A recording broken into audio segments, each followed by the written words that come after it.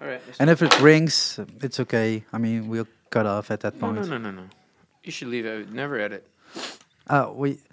Oh, edit. No, just that the only edit I do is something with, with the voice, and that's it. Okay. So it uh, so it works. And with um, uh, uh, the difficulty for me speaking English. Do you It's- usually do it's the podcast in Dutch? yes, the only, you are the first guest. And will you do th- this entire podcast in English then? Yes. And you won't translate it or overdub it? Nope. Good. Good. No. Everybody can. Everybody Can. I can. can't do your voice into Dutch. Yeah, it's yeah. impossible. okay. All right. that, that would be really weird. Let's yeah. do it. Yeah, yeah. Uh, so um, yeah, I don't have any introductions or stuff like that because it, it doesn't make sense to do that and just go into it. I don't know if y- y- I know you're a podcast listener anyway. We're already recording. Of course This we are recording. podcast. Yeah, but this is way nicer than have that introduction video thing like My first guest. yeah, exactly. Why why do, do you like that if someone have a podcast with that? It's like just Oh, start. you know, Don't- there's all different. don't- There's all different kinds of ways to do it. I listen to some podcasts that are um, a complete conversation. Um, I listen to some that are written, like um, and performed. Um, I That's a whole different vibe. yeah, I don't enjoy one more than the other. I think they're all good. I don't like if they It's a just good medium. start with five minutes of introduction and then finally start. They just Sure. just start talking. I mean, I will cut in some music here or something and say it's uh, it's this the the. I think this is the second uh, the the sixth uh, SharQ Talk. Yeah, Great. it's it's called SharQ Talk. If you didn't knew that. SharQ before. Talk. Yeah, Showtime. yeah. Let's do it. Yeah, so this is amazing. Uh, today we are in Duisburg, Duisburg, Duisburg, However you want to say. something in Germany, and not far from the border at the at the festival, the Folk Fest, Folk Festival, Mhm. The Tempel, Tempel Folk. Fe- Mhm. uh, it's something. Uh, it's really difficult to. Tempel Folk Festival. I think it is. Exactly. That's what Yeah. it looks like. Yeah. and you just came o- off stage, and it was one hour of hotness, Yeah. Direct sun. direct sun in your face. Um, four to five, direct sun in the face. Um, it would have been a great idea to maybe switch the sound booth and the stage. yeah, also for the pictures. Um, also for the pictures, but uh, you know the uh, also the comfort of the audience is important. Um, but it But then they have to. th- Then they can't sit like they did now because it's a little Yeah. small going down thing. Yeah, I um uh, so it was about hundred. It was over. It was a, it felt like hundred degrees when I picked my uh my little DI boxes up off the stage. They were like Melting. almost too hot to touch, Oh, that's not. and they're good. not. But they're not even active. They're passive Yeah. power. So it's not like they're hot because of any sort of power going through them. No, uh, they were just the sun. direct, direct sunlight. And uh, and so I'm drinking a little sugary mate soda uh, to recover some. Uh, Some electrolytes. yeah. so and, uh, it was it was it was, it was you know every show is uh, it's different. is vastly different. Yeah. yeah. Uh, I said on stage the other night that the definition of insanity is to do the same thing again and again and expect a different result, um, which is exactly uh, what I. Um, I mean, it's just different every time. I do this essentially, essentially the same thing again and again, with some minor variations, and it's always, always different. So that makes me insane. yeah. Every setting. And now is the big question for everyone that listened and didn't read the title of the podcast. Oh. Who is talking? Because they know my voice, and only the problem is my voice voice is English now, or at least I try. I know I'm not that good of a speaker, but hey, the other voice is Christopher Paul Stelling. Oh, Well, you, Yeah, I think you just um, I think you speak great English, Uh, but I've only spoken to you in English. So yeah, that's true. spoken to you in English. See, I can barely speak English. that's amazing. yeah, no, uh, that's not that's not my first language now, my, and that's you you will notice. I use the easy words and not the difficult ones because I can't pronounce them. But hey, it, it works. So everyone that's listening to this podcast, Mm. bear with me. I'm going to This try to do this better because there are some other podcasts also Yeah, in English coming is, up. This so. is English Shriek. yeah, exactly. Just yeah. used to it. But the other, It's easier to talk to me first because we talk all the time. Yeah, we t- we talk all we talk all the time. Only when you are on, on stage, you don't talk to me. But Sometimes. Sometimes Yeah. that's true. Yeah, or uh, just bring you a whiskey and don't even notice it. Not anymore. no, no, No it's just now waters. It's just water. There are two uh, sober people here in this Yeah. room now. Yeah, you were my inspiration. Yeah, really? Mhm. no, you're lying. no, but it's good because uh, it, it's a it's a topic that I would like to speak about because Mm. drinking on stage and off stage as a musician is something everyone needs to do it or something like that. That's really strange. As a musician, you, they expect you to drink. Everyone. The first question at the merchandise stand from a guy I heard. I was standing backstage and he was like, Can I get you a beer?" Can I get you a beer? Yeah. Why not? Can I get you a Coke or every club owner, every Yeah. every every night, and um, so over the years, I like drinking. Of I don't course. think there's anything wrong with drinking. Over the years, I drank more and more and more, and uh, and then you know eventually I was like, man, I feel kind of like shit, and um, and so I uh, I got home from the last tour, and I kind of got home and just kind of kept drinking like I was on tour, and um, yeah, it just got a little messy. You know, if you're drinking two or three bottles of wine at home on a night off by yourself, That's then, just then you then you say, okay, let's dial it back a little bit. But you know, in my defense, there was a there was a sale going on at the supermarket, three dollar bottles of wine, There's always a three bottles, nine dollars. I'm getting a good deal. Yeah, but yeah, it's it's My liver is suffering, but I'm getting a good deal. Yeah, but um, that that's a different different problem for a different time. Yeah, and uh, you know there were some ups and downs with it, but it's been it's been six months. I also think in this genre of uh, pseudo singer songwriter folk music sort of thing, there's just this yeah, there's an expectation that uh, that uh, you know for some reason people think drinking a lot makes you a badass, and um, uh, but I found that there's a certain amount of uh, strength that is required to uh, to not do this, and a certain amount of uh, weakness is necessary to always uh, have to have this crutch. So, um, you know, if anybody's listening to this and thinking to themselves, maybe I should take a break, and you don't have to quit uh, forever. I'm not going to quit forever. No, of course I not. can't wait to be able to have a glass of wine in Italy. Uh, You just came back from Uh, Italy. yeah, yeah, You exactly. missed- you I missed that all. I missed Yeah. all the wine. Yeah. I missed all the wine. Uh, a couple people gave me nice bottles of wine as gifts after shows, and I just said thank you. And now they're rolling around, clanking around in the in the backseat of my car, reminding me of all the good things I'm missing out on. Um, but yeah, I'm just taking a break, and who knows what that'll lead to. But I feel uh, better, and um, you know, six years on the road, and uh, It's six years of heavy drinking. In Yeah. the start, in the beginning, is just like a few beers, and during your performance, one no, it's two. always been quite a few whiskeys. Yeah, whiskeys, yeah. quite a few, and And- um, and and, it that's, builds up. That's fine, but uh, I think anything that anyone does again and again and again and again, one should take a break. Even playing shows, which I've also had a problem taking a break from. I play a lot. We both work I- way too lot. yeah. way, way too much. Yeah, Yeah. I, play a lot, and and now it's uh. And so I'm gonna finish this tour, and I'm gonna uh, dial it back. I'm gonna start working on a new record, and um, spend a little time at home with my family, and A new home.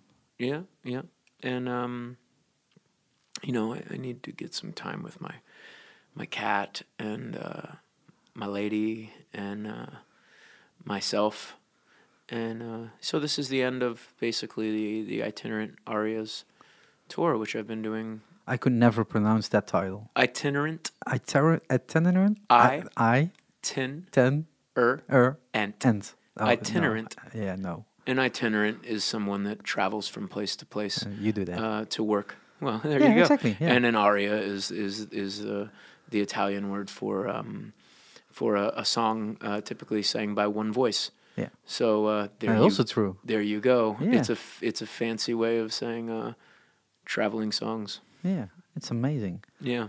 But uh, I mean, I don't, I can't It's a, remember it's, a, how long it's a little it's a little more elitist and a little less genericana way of saying uh, traveling songs.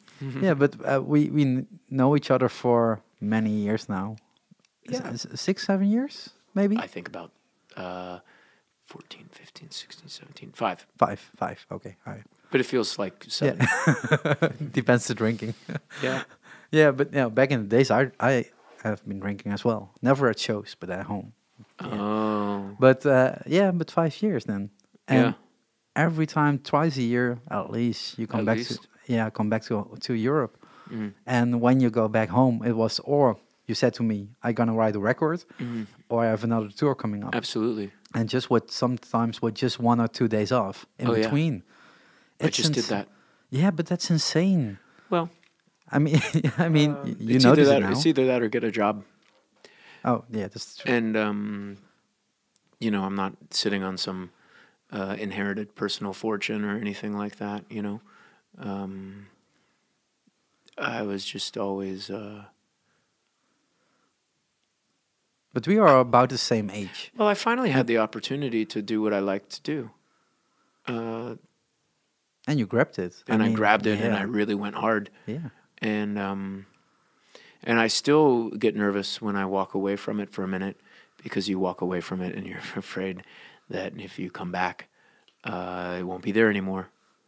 You know, um, Yeah, you told me that years ago that I have to put out a record every two years. At least. And in between, I have to be on tour to promote that album.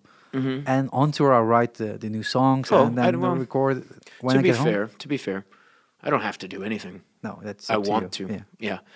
Um, I mean, that was my plan. Uh, was just to once I realized that I could do this and work my ass off. Um, and I had in my early twenties, I had so much energy that I had no way to uh, use, and that's a destructive thing. If you have more energy than you can put out, if you feel like it's just all boiling up in you and you have no release for it, uh, that's destructive. It could that that leads that's that leads to drugs and that leads to um, all, all, all sorts of problems. But um, so yeah, when I found the opportunity, and also, um, but the reason was travel. You love to travel. Uh, oh, it's the best. yeah. Um, And uh, my brain, there's something that feels good in my brain, and I think most creative, well, most traveling people are this way. Uh, may, maybe I've realized that I'm a combination of two different types of people, two different sort of archetypes. One being a traveling uh, person, and one being a creative person. Some creative people hole, hole up. Well, they don't want to. They, Yeah. they they love to control their environment. Creativity for them is a means of control. Like whether you're a painter or a musician, some people get off uh, on being in control, and creativity allows them to do that. Some artists use their creativity to express randomness and uh, a freeing uh, lack of control. You know, this is the difference between Rembrandt and Jackson Pollock. yeah. You know, Rembrandt is completely in control, and Jackson Pollock is demonstrating his lack of control. The two different Yeah, types yeah, of true, creative yeah. people. But um, so I'm a, I, I love being creative, and I love to travel.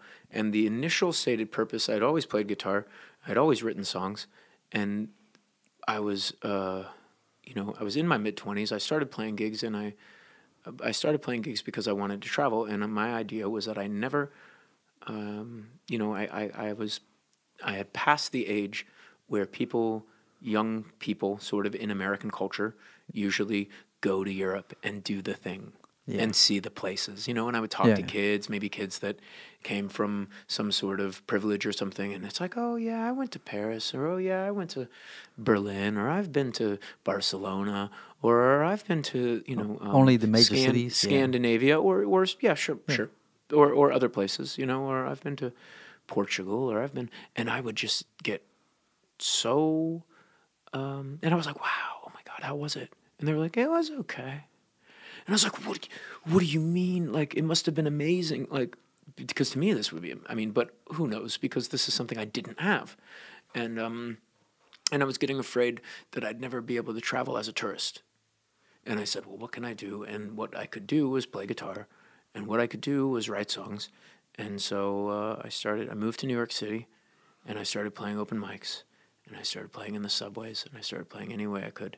And then, um, you know, after four or five years, uh, I started getting invited to open for bands, and I started doing my own small shows, and I started playing in my friends' living rooms, and anywhere, and it's kind of crazy how fast that. Um, I mean, it it, it took uh, well about ten years from from the time I started really putting it out there until now.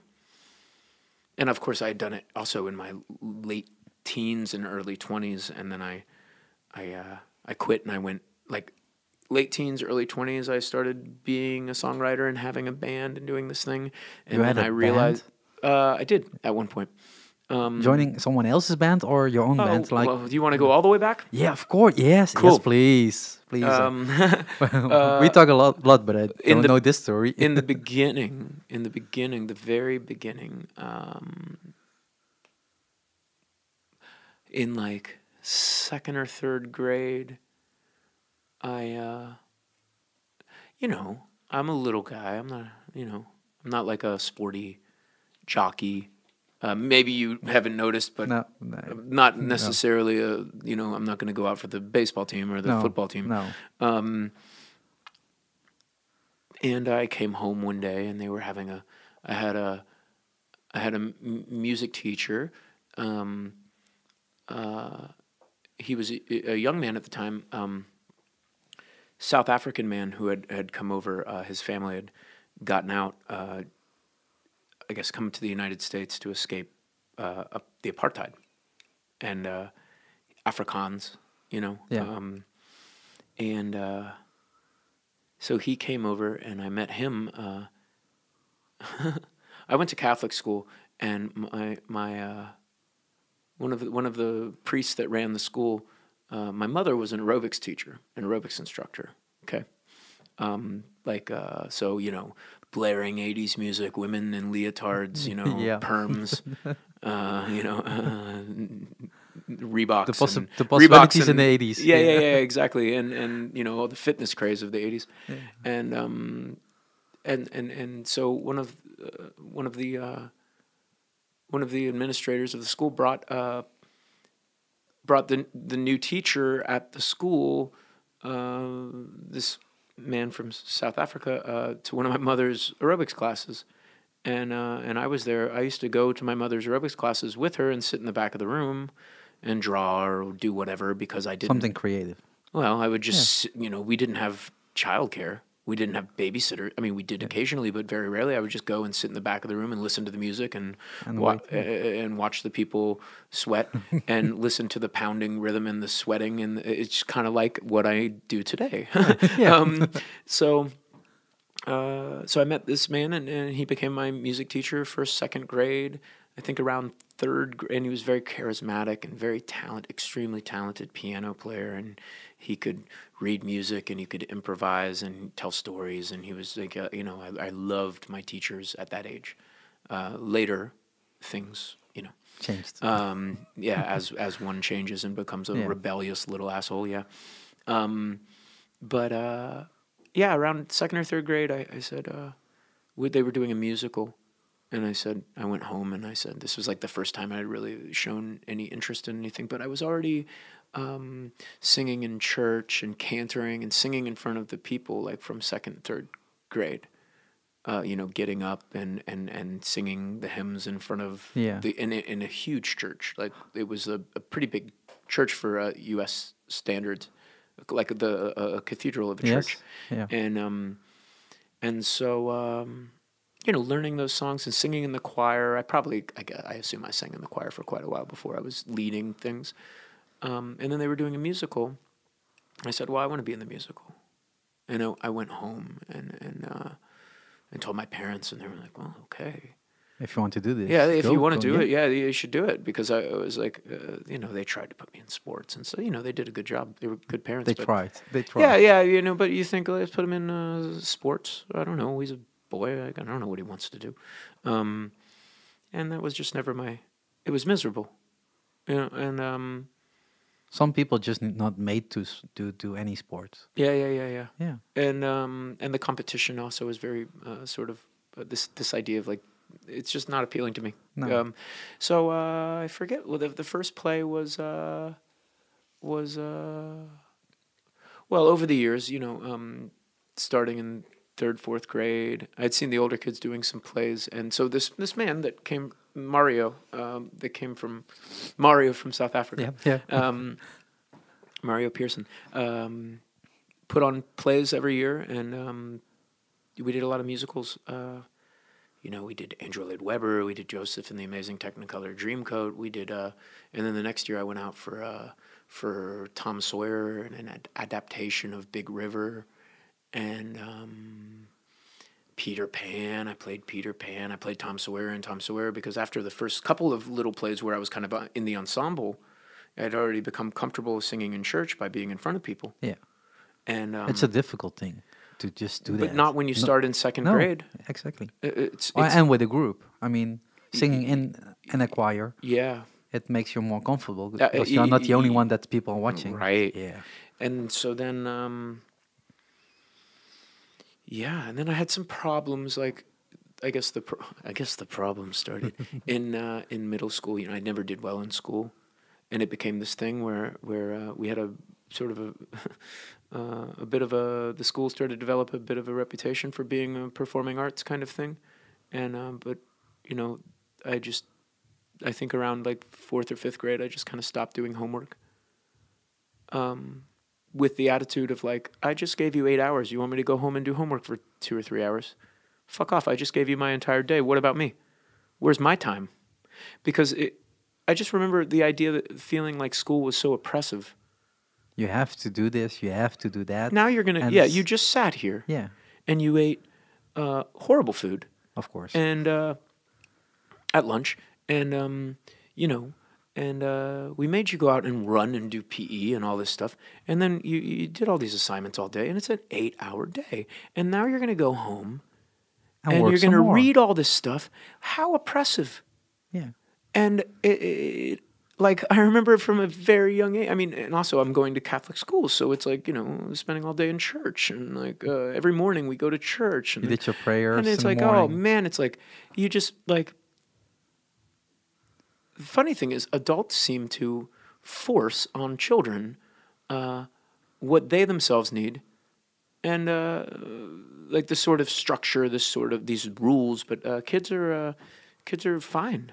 Kids are kids are They, come need in- to know the basics, but not come in- everything. well, they come into this world perfect yeah. and we fuck them up, and then we try to then we try to uh, Blame them. blame them for it, Yeah. and uh, and so um so I, I you know I started this sort of like I don't know if it was like an attitude. I'm sure it's an attitude, but um you know I'm not gonna you know I'm not gonna I'm gonna do I'm gonna I'll go to school. I'll do just enough, you know, yeah. and then uh, You don't need to do more. and you set- get the I same never had a- degree. yeah, of course. I never had a problem like um, communicating in class or or you know um, uh, being involved. Uh, but when I go home, like I wanna I wanna play guitar. I wanna I wanna I wanna do my stuff. Yeah. I wanna do my stuff. Because this what whatever you're subjecting me to is not my stuff. this is your stuff. This is your idea of what God is and what meaning is. This is your idea of what, what learning is. There's a lot more to life than this. And you can learn from different things than only school. Yeah, uh, but a balance, a balance, and Yeah. to me the balance was, I give you eight hours. You give me the other Yeah, the that's other right. fifteen. That's that's right. Uh, 16, However many yeah. there are in a day. yeah, mine, Um, minus the So so at some point, um, I remember in school they tried to take this away from me. I was the guy. I was I, I was starting You to develop. Well, I was starting to develop an identity as the kid that was doing the musicals, as the boy in the plays, you know. And I know it's only sixth or seventh grade, but it was my world. Performing had become my world. I was the, you know, I was the lead role in the plays. I was playing Tom Sawyer. I was playing Peter Pan, and these were like really cool little. There, there's nothing more charming to me than uh, some people roll their eyes about it, but there's nothing more charming to me than a, than a sort of middle school production of uh, of a musical because they're great songs, and um, the kids are doing it out of joy. And uh, and I remember they tried to take this away from me to use it as collateral uh, to make me do my homework. If you don't do your homework, you can't do the play. Yeah, yeah, yeah, Ah, yeah, yeah, yeah. But luckily, uh, so I, I, I wasn't allowed to do the play in eighth grade, and luckily uh, that same teacher that I had uh, went to a public school, left the Catholic school, went to the public high school. Um, the year I was in eighth grade, when they started, uh, they they banned me from doing any sort of. Uh, but this was great because it's eighth grade, and I grew my hair long, and I listened to Nirvana you know, In Utero came out. So all of a sudden I had this great interest in music, right? and here's this guy that like feels like me, you know, Went through the same things. went through the same things, was writing about how I felt, felt persecuted for for being sort of effeminate and being a a man, didn't like sports, electric guitar, long hair, was born uh, the day after, had the birthday, like, uh, you know, we had the same fucking within 24 hour birthday. So to me, so Nirvana was huge. Kurt Cobain was huge. So in eighth grade, you know, I started writing in notebooks. I started brooding, you know, being sad, but I had the music for it, you know, and I got so into this band and I, I read like Michael Azerrad, uh, the writer, had this book, uh, Come As You Are, the story of Nirvana, and it became my like sort of Bible, and I saw so much in this band.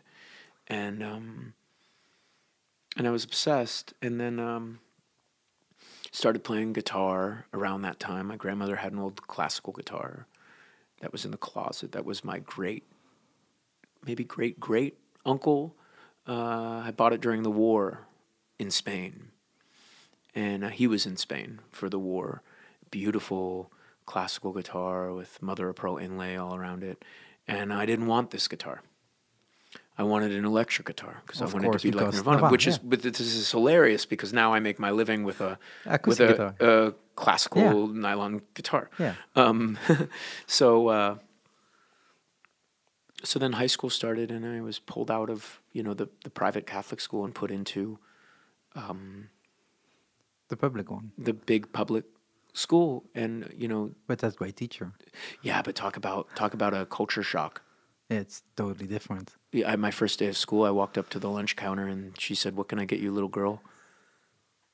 Because she had long hair. Because well, because I had long hair and no, obviously no beard or anything, and I was very small and frail.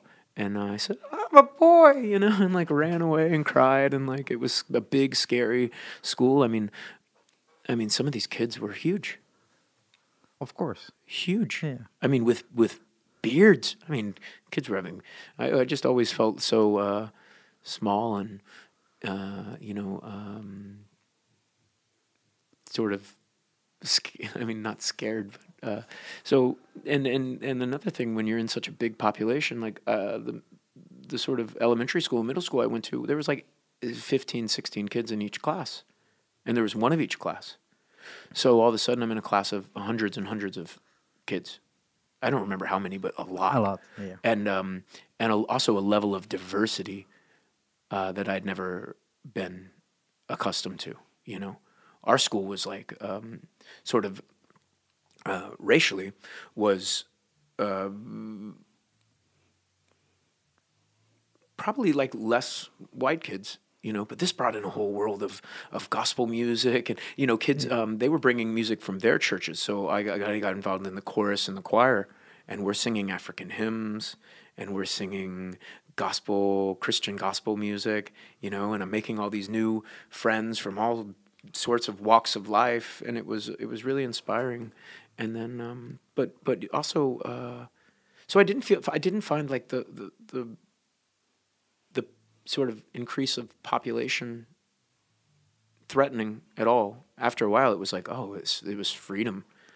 Um, but you know, in high school, people break off into sects and identities. You know, Yeah. like these are the skaters. Yeah, These all are the, different groups that yeah, you belong or the- not belong, and yeah, you yeah, don't and, cross and, over. and the cool kids, you know, the football players, the cheerleaders, all this shit, which I was completely unaccustomed to. Because in my previous school, it was like you were, like I was the weird artsy music kid, theater kid, like I was an island unto myself, and uh, and then I found my people and the theater people, and I got involved in that again, and um, had been playing guitar and taking lessons and. Um, only briefly really maybe for a year every once a week for some time i would go and learn uh, in the back of a sort of this guy. I was convinced he was elvis.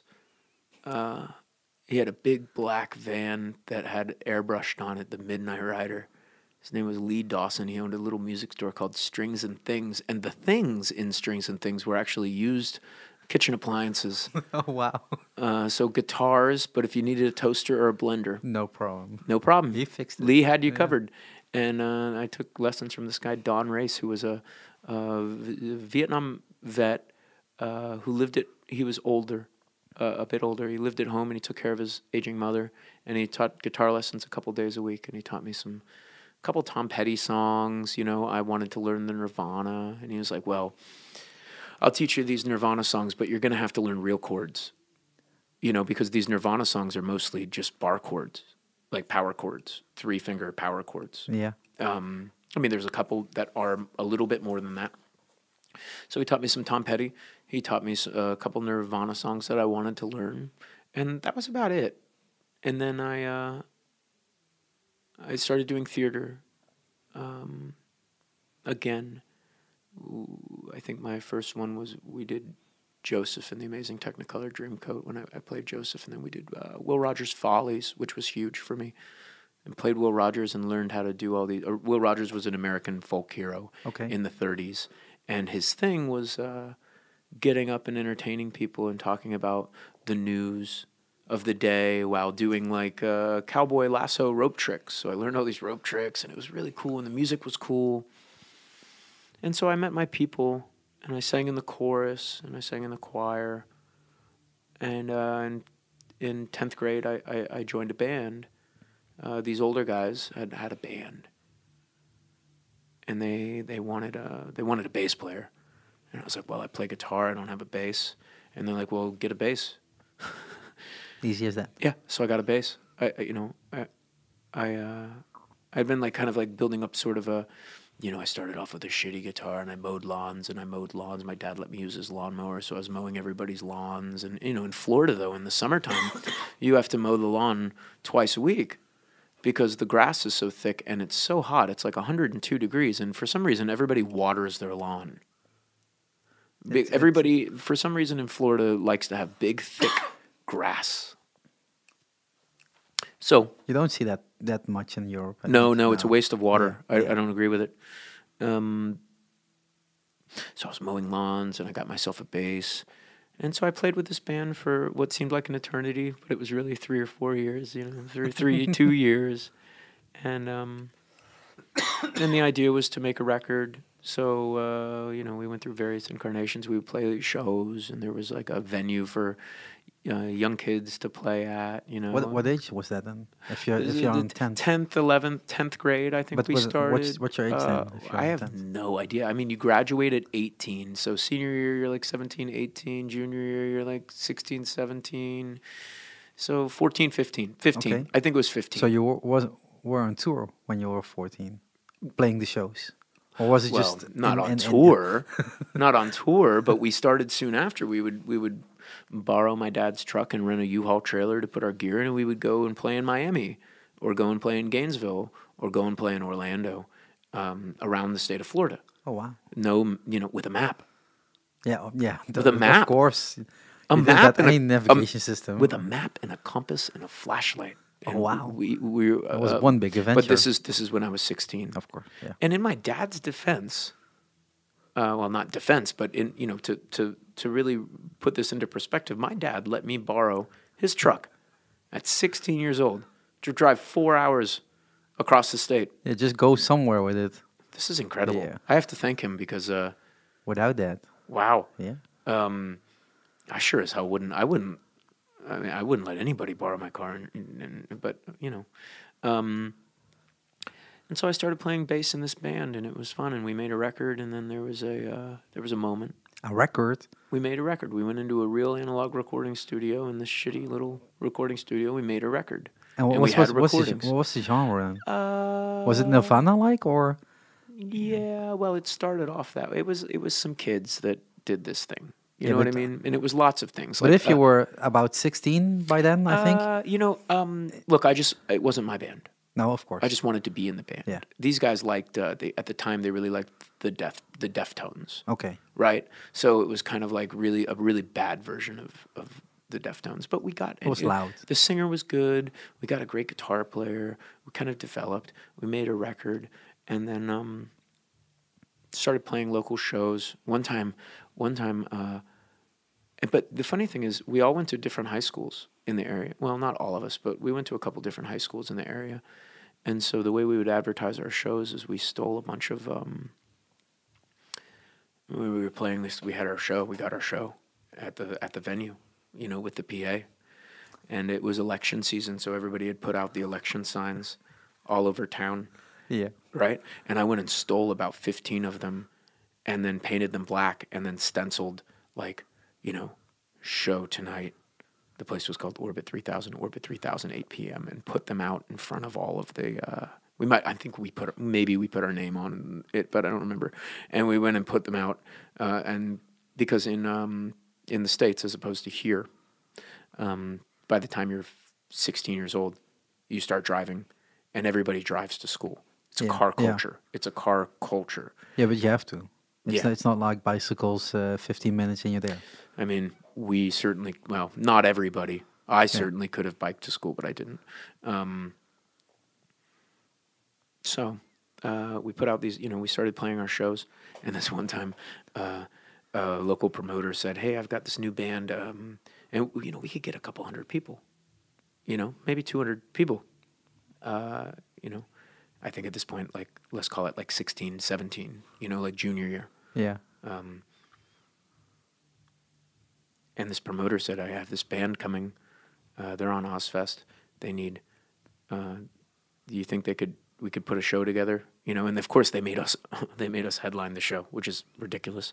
Um, but they knew that you know they just wanted to fill the room, and they knew that we would bring the kids, the local kids. Yeah.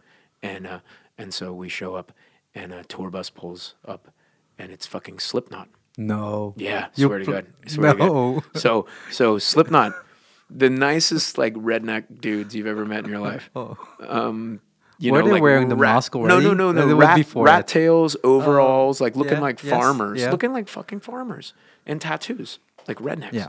We talking to them for a minute. I think they're like, "Wow, these kids are young," and uh, and they go on the bus and they come out in their full jumpsuits, clown masks, and proceed to absolutely just completely destroy Yeah, what they know from. not just not just sonically. I mean, literally Yeah, destroy yeah. the stage. This is like That's what they do, So well, yeah, but yeah, but think of this: they're playing a shitty little venue. Like in the beginning, like think of an intense band, Yeah. right?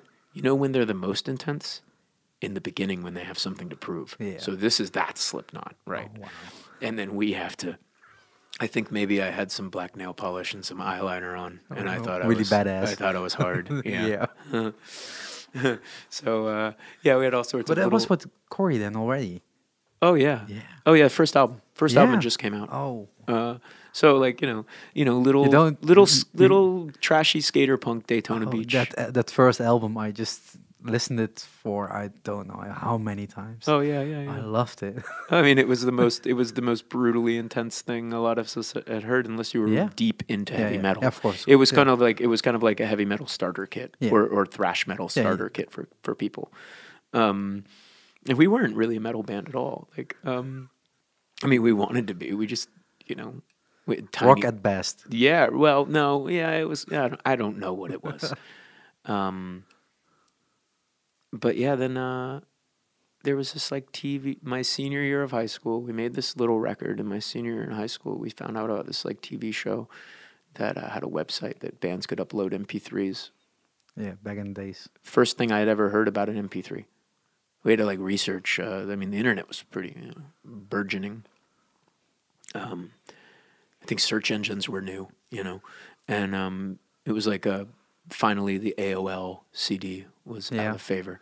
Uh, you know, I wonder how many of those are sitting in landfills now. um, so uh, we uploaded our MP3 to this website, and people voted. Uh, and then people would vote, but they sent like an A and R to CS Play in West Palm Beach, Florida, and uh, and we got picked to be on this TV show. And so the week of my the week before I graduated high school, uh, they flew my band out to Hollywood to be on this TV show. Uh, the host was Matt Pinfield from MTV, the Yes, original yeah. one of the original VJs from MTV, and um, and so they uh, so we were on TV, and it, the idea was one unsigned band was picked via people voting for the MP3 and they played with uh, bands that had recently been signed to a major record label. So we played on this. We were taken to Universal Studios on the soundstage, and um, it was insane. Like we played with with uh, the lineup that day was uh, was Eminem, Destiny's Child, MXPX, Three Doors Down, Oh. Sevendust, Oh wow. and us. and but all of these bands, including Eminem, had just like he had just come out like that. He, he, he was brand new. Yeah.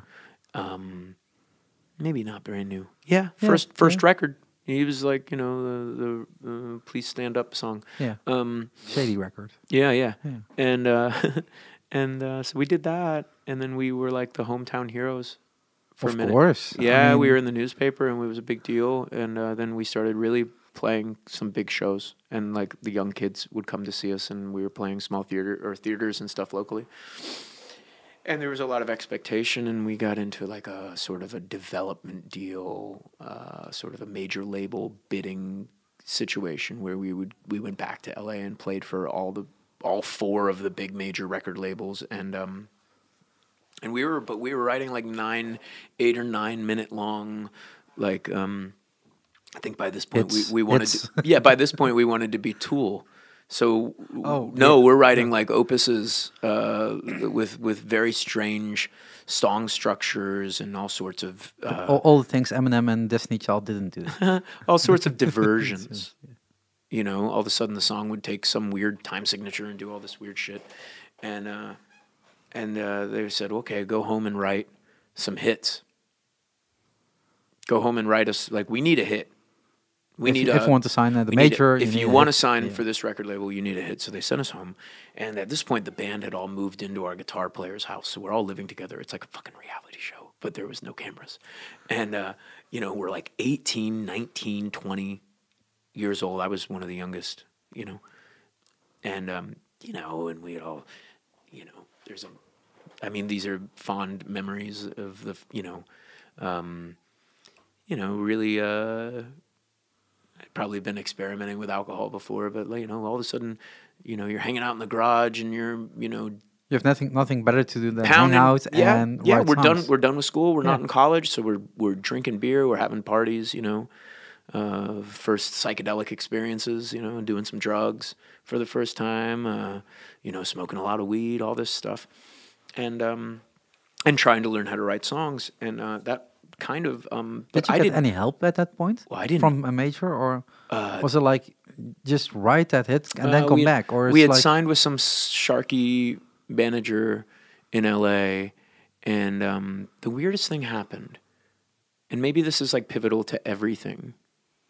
Um, and I was kind of like the uh, because I was the bass player, I didn't write the songs, because I was also the youngest. I was the youngest, and I was the bass player, and I didn't write the songs. Um, but I was like the manager, and I was the one that talked to, like, I was the one that did the thing that got us the TV show. I was the one that kind of pushed us to make a record, you know, found found the resources and the money to get us to make the record, um, did the layout for the record, did the art for the record, like, but didn't that, but didn't that you don't learn at but school. No, no, but didn't No. write didn't write the song. No, I was skipping school and I was driving home. I was skipping school to go home and work on the band. Yeah. Because if you remember, like this all happened senior year. Um. So then we're all living this in this house, and we're like, well, we can't write a song. And I remember like going down and, and like working. Okay, so the people that you you know the guy the guy that usually writes the songs, and we're all now trying to write songs and come up with things and we're all bringing songs to the table and then it just got you know personalities young young kids all living in the same house one day. And um, so I'm but I'm learning all these things about like sort of the management side of things and and learning how to communicate and sending the emails and think, thinking of booking shows and doing all this stuff you know?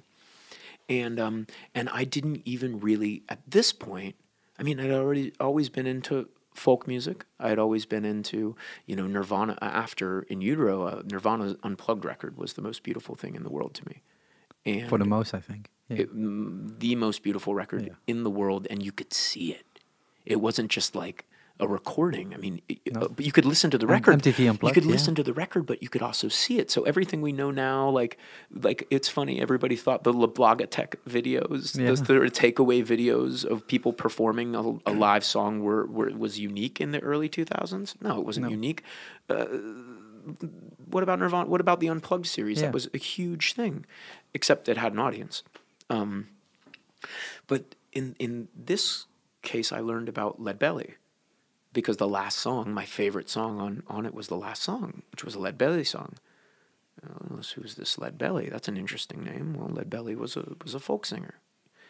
Uh, Lead Belly palled around with Sonny Terry and Brownie McGhee. They all hung out with Pete Seeger and the Almanac Singers and and um, and Bob Dylan and Dave Van Ronk and the, and all of a sudden the village folk scene and and um, you start finding out that the first touring bands were touring around for the labor movement. What's the labor movement? You start educating uh, oneself. Once I- again, things you don't learn at school. Yeah, exactly. No, I, you don't learn No. anything in school. no, Um, no, not these things. No. Um, But it's the well, for me, for these are the music. things. These Yeah. are all the things for me. Yeah. And um, I mean, yeah, sure. If I had decided to go into engineering, I really would have needed algebra, right? Yeah. Um, so, and uh, and then oh, one of my friends is here. We'll talk to him later. He's an amazing guy. He's seven feet tall, and every time I see him, he lends me a book. Um, so. I, I had gotten into folk music. I'd got, I, I was never really into the kind of music that we were doing, but music is music, and being in a band is being in a band, and playing an instrument is playing an instrument. At that age, it doesn't matter, right? And um, so I quit the band.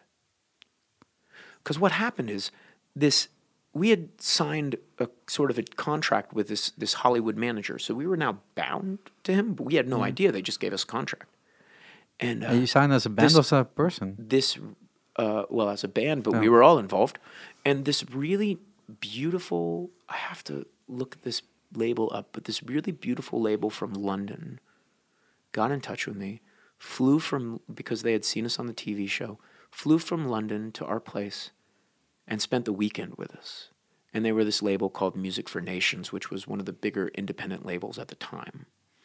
And they said and and we explained to them our situation. They said you should work with us. You can and they they did at the time actually they did like uh tool and all sorts of weird stuff. And it was a they for europe i mean not in the states. Yeah, of course. but a big european label and they said sign with us and you can make whatever record you want to make.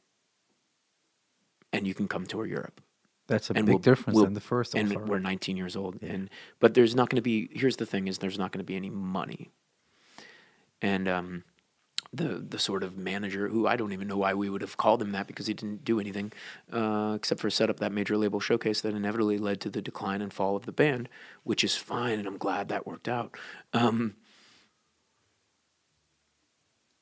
Music for Nation said, "Make any record you want," and we said, "Okay." And we I, I went to this guy in Hollywood. and I said, "Hey man, listen, we can't do this fucking back and forth with Hollywood thing anymore. Let's go with this. We're gonna do this independent label." He said, "No, you're not." And I said, "What do you mean, no, we're not?" He's like, "Oh, we have a contract. No, you're not." And I said, "Oh shit!" All of a sudden, it got real. Because what he wanted, of course, is to us to get the major record deal, so we it could. helps him. Well, he then he gets Yeah. fifteen percent Yeah. of whatever the signing bonus was, which in the year two thousand, It's a lot of money. it was a days, lot of money. Oh, we were already thinking about what kind of cars we were going to get. How to spend it. Yeah, yeah, and um, so at this point, we're still talking to this label, and a, about a year goes by. Still playing shows, still touring around Florida, still building our thing, working on you know going into the studio and sending songs to Hollywood that ultimately would get rejected, and trying to work something out with this, trying to get out of this situation that we're in with this manager, so we can go with With the London label. Right. And then 9 11 happened. And then everything shut down. Everything. Every yeah. People say it. Yeah. People say everything shut down after 9 11, but everything shut down after 9 11. All the labels were like, we're going to have to get back to you. We're not doing anything. Everyone was afraid of anything. Everything. Everything. And yeah. Yeah. So, uh, and this whole time I had been working in a, like a bong shop on the beach, What's a bong shop? Sorry. head shop. Oh, yeah, selling, uh, doing do, piercing ears selling water pipes uh, for weed smokers and uh, selling T-shirts because this is Daytona Beach, Florida, by the way, is where I grew up on the A1A. Okay. I had a girlfriend at the time. Me and the guitar player quit the band. Oh, I quit the band. I took the Newsflash. guitar. I took the guitar player with me. We were best friends, and the other two were, yeah, different. Um. So the next couple years, we're learning what depression was, um, smoking a lot of weed, hanging out on the beach. Uh, Why do that? Do I get the idea of Tenacious D now? I don't know. having my first, having my first girlfriend, watching films. Yeah. You know, getting Just into on the on the. getting into things, yeah. getting into things, um, getting into Bob. You know, I'm 22 years old now. Uh, tried to go to college once, didn't work. I, I think I lasted a week. Um, and then the, this Vol- Volkswagen commercial came out, and it had a Nick Drake song in it, and I was obsessed. The finger picking.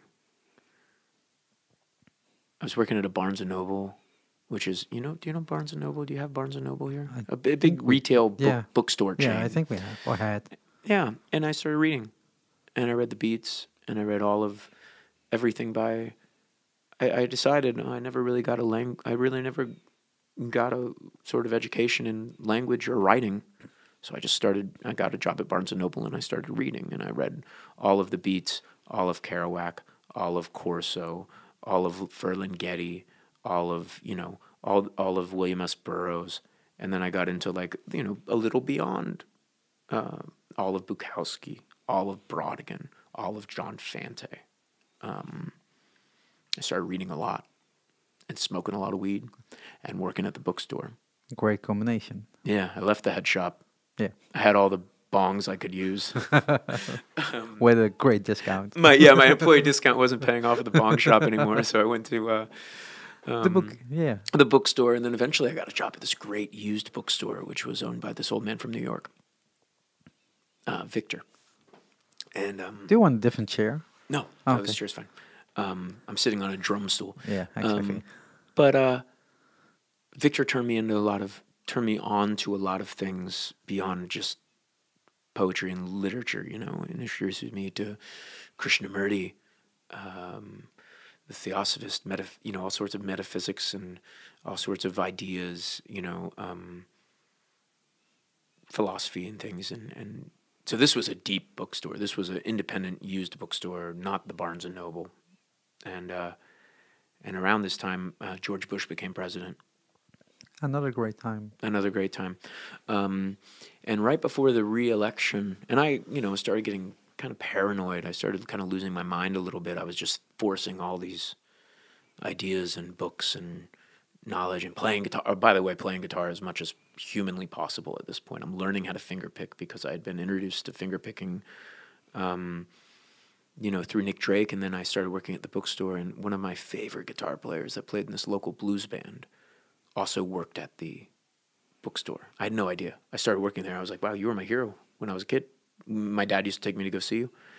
You know, he would show me some things, and we would talk about stuff, and and um, and there was also a you know probably a thousand records in the back of the because the used bookstore also used to do used records Yeah, that's normal. and people used to come in and, and try to sell us collections of records but the uh, the records hadn't become cool again yet No.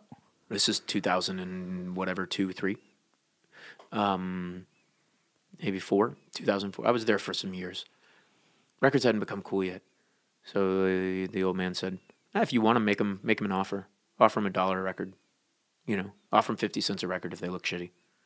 So i started buying records. I discovered john fahey the great finger style player uh, kind of the the inventor of what's called like American primitive, uh, which is eh, unnecessary because what he was really doing is he was listening to, you know, Mississippi John Hurt or Skip James or uh, you know, and he was a kind of a college guy and um, didn't really sing, but started making these instrumental guitar records in the beginning in the late '50s, but getting acknowledged in the early '60s. Uh, he eventually started a label that ended up taking on Leo Kottke. I got into Leo Kottke. Um, so instrumental guitar uh, became my world. I got into Michael Hedges, Alex de Grassi, all these guys that were doing some interesting things with instrumental guitar while reading because I determined that you can't really read while listening to Bob Dylan. No, true. Too many But, uh, words. yeah. so so I I started listening to a lot of instrumental guitar music and playing a lot of instrumental guitar music, and I started writing and I started um, reading, and I started writing songs in earnest. Played some shows, you know, realized that that was, and then this, I, I realized I wasn't that good at it, but I kept working at it, and then um, I'm still not that good. You still, uh, you're never, you're never there. If you arrive, you're done. So George Bush was getting reelected. Um, there was a lot of fear.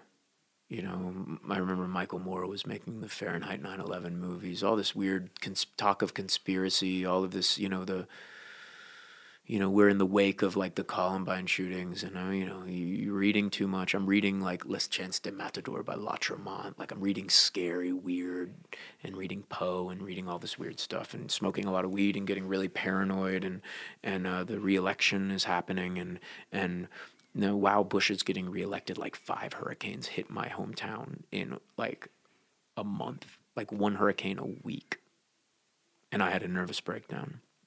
Everything came together at that point. everything felt like it was Yeah. just spinning out of control. I was 23 years old, and um, and I realized that I was um, I realize it now that what I was experiencing was a was was uh, sort of a nervous breakdown, panic attacks, uh, sort of pseudo schizophrenic thinking, um, and extreme paranoia, extreme well, paranoia based off of fear. All of a sudden, the world just was it seemed like it was just cracking open and um and I had to leave home broke up with my old girlfriend uh moved to Orlando Florida it was as far as I could get it was an hour away a friend introduced me to some people brought up a crate of records and brought my stuff and got a job at, at a Whole Foods market you know I was running away after eight months, it wasn't far enough, and I ran into the girl that I had been seeing. And she said, I'm going to move to Colorado. I said, Good, let's go to Colorado. She said, You're going to come? I said, Yeah. So we moved to Boulder, Colorado. And Boulder was a healing kind of, I was just kind of, reco- I was just getting away from home, getting away from like my own personal fears. And, um, ah, yada, yada, yada. I built some guitars. I, I started working for a luthier. It was very therapeutic for me. I found a mentor. I work. I built probably three guitars. I thought maybe I wanted to be a guitar builder, but I kept playing. At one point, I went out to uh, California to Alex de Grassi, one of my favorite living guitar players, who had toured and played shows with John Fahey and Robbie Basho and like the original guys in that scene. I, I saved up all of my money. I saved up four hundred dollars, and I he was doing a workshop, and I uh, I went out to to kind of like sit at his feet and learn a little bit about fingerstyle. I mean, it was only a weekend. You know, he gave me some tips, showed me some things, but it was more about like making a journey, and and Doing something for yourself again. That's right. Yeah. and I had finished. At this point, I was like, uh, "This is right before I started really, uh, right before I finished building my first guitar." And by the way, I didn't mention we were obsessed with Tom Waits at this time. My friends and I You're still a little bit. completely. but this is in the this is when it was all you know. At the height of it. Yeah, I'd gone through every record. I knew everything, but it was still like really fresh. Um, I'm out in, I'm out there in California and Hamza El Din. I remember I woke up and I, uh, I don't remember how I found out because there was no internet. It was all flip phones. Maybe I heard on NPR something. Hamza El Din, the great oud player who I was obsessed with, uh, Nubian oud player, had passed away, and I mentioned to Alex, who was doing the workshop. There was like six people there. That Hamza had passed away, and uh, Alex said, "Wow, I knew, I knew him." I, I just remember that being special. I felt like there was like, all of a sudden, I realized that wow, the world is small and the people that you admire are, are just people and people know each other and we're all kind of connected. There was this interest, and we're in the redwoods. And I just remember this feeling of like everything's connected at that point. And I, I started beginning to heal from some of my sort of pain and anxieties. And then my, uh, I, I walked out to a payphone and I called the, my partner back in Colorado. And she said, "Oh, Tom Waits just announced a tour." I said, "Well." I said, "Well, write down my credit card number. I think I have like a, th- I think I have three hundred dollars limit on this credit card I had just gotten. Just buy whatever tickets you can." She got tickets to Memphis and Nashville. We went and saw Tom Waits. I hitched back from California to Boulder, and then we drove all the way from Boulder, Colorado, to Memphis, Tennessee, which is far. And we went and saw Tom Waits, and it was like a, it was a moment. This must have been in 2004, five. I could find out. It doesn't matter though. It was the Orphans tour, before the Glitter and Doom tour, which was his last tour, um, and much smaller rooms than the Glitter and Doom tour. The next day, I walk into Gruhn's Guitars, which used to be downtown off Broadway in, in downtown Nashville. Now, since it's moved, used to be right by the Ryman, and we're seeing Tom Waits at the Ryman. But that day before the show, I walked into the guitar shop and uh, and his bass player Larry Taylor was there. And I walked up and I said, "Wow, Larry Taylor, you were in Canned Heat." Larry Taylor was in, in the band with with Blind Owl, who was John Fahey's roommate. Do you know what I mean? Like all It's in the so span, small, all in the span of the, these these days, and, and and and everything was so connected. And then Tom walks in. No. He walks right up to him. And I shook his hand. It's and and that night we saw him, and I sat behind a big pillar at the Ryman. I had to peek around this pillar. Of, of course, the cheap seats are the ones course, right yeah, behind the yeah. pillar. And a couple years later, I got to play at the Ryman with with Ben Harper, and now I'm on Tom's same record label as Tom. Isn't that crazy? It's um, yeah, it's it's literally a small world. It's a small world. Yeah. it's a small world, and if you just keep your keep your keep your shit together, don't freak out. You did freak out. I did freak Yeah. out, but I put it back together. Exactly. that but that's that's important for every artist that has struggles with can, can I make it and can where where do I fit in this world? Mm. If It you takes a long time. Yeah, it takes a while, but you will find that way. Well, there's two ways. One is the Nirvana way, Well- but you don't want that. well, or or or these kids that you know, say these kids that end up in these sort of uh, punk rock Ozzfest or Warped Tour band. I know I've known a lot of these Yeah. kids. You know, all of this all of this shit happened when they were like 23, 24, 25. Yeah. right? And then it's over. It's like, now what am I going to do? And some people deal with this really well. I mean, some people go on to have great careers beyond all of this. But I, you know, there's no right and wrong way. Uh, looking back now, I'm like, I'm okay with it. I still, but but there you go. I haven't arrived yet, and that's the thing. No, you, you but you never arrive because when you do, it's the end of your life.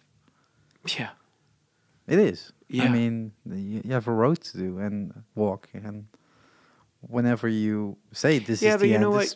No, you know what? Years, years and years and years later, just a couple years ago, you know, one finds oneself. I find myself on tour with, with, with Ben Harper and playing, big the Beacon Theater or the Ryman or all these venues that he took me to. You know, this is a rare thing. I don't play rooms like this, and I don't, you know, but but in that in that month of my Yeah. life, all of a sudden you're looking at people and like other people people that would be perceived as being successful and you realize they're still hacking it out. They're still i mean you know they have a certain amount of success but they still have creative pursuits. They still have things they want to accomplish and things they want to do. Um, they have ways that they find to give back. Wouldn't that be great to have enough success to where you could raise some money for people in need or, or, or contribute to something and not just worry about yourself and your career that to me would be the ultimate amount of success yeah, yeah. and then you realize, wow, it's just the beginning again. So there is no arrival. no, No. no. But if if uh, because you were skipping the last part of it, uh, uh, uh, when you went solo, when you went to Europe for your first solo shows, Well, my first solo shows weren't in Europe. I No, mean, but I- uh, but but this the- is a big. This was a big part. Self-releasing my first record was a big deal. Uh, it took. Uh, I started doing these gigs at like 24, 25 in New York. I started opening up. I kind of mentioned.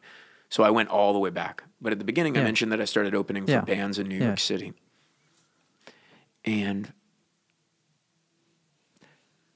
this is I'm 25, 26 at this point. Well, after I left Boulder, Colorado, yeah, of course. after we saw Tom Waits.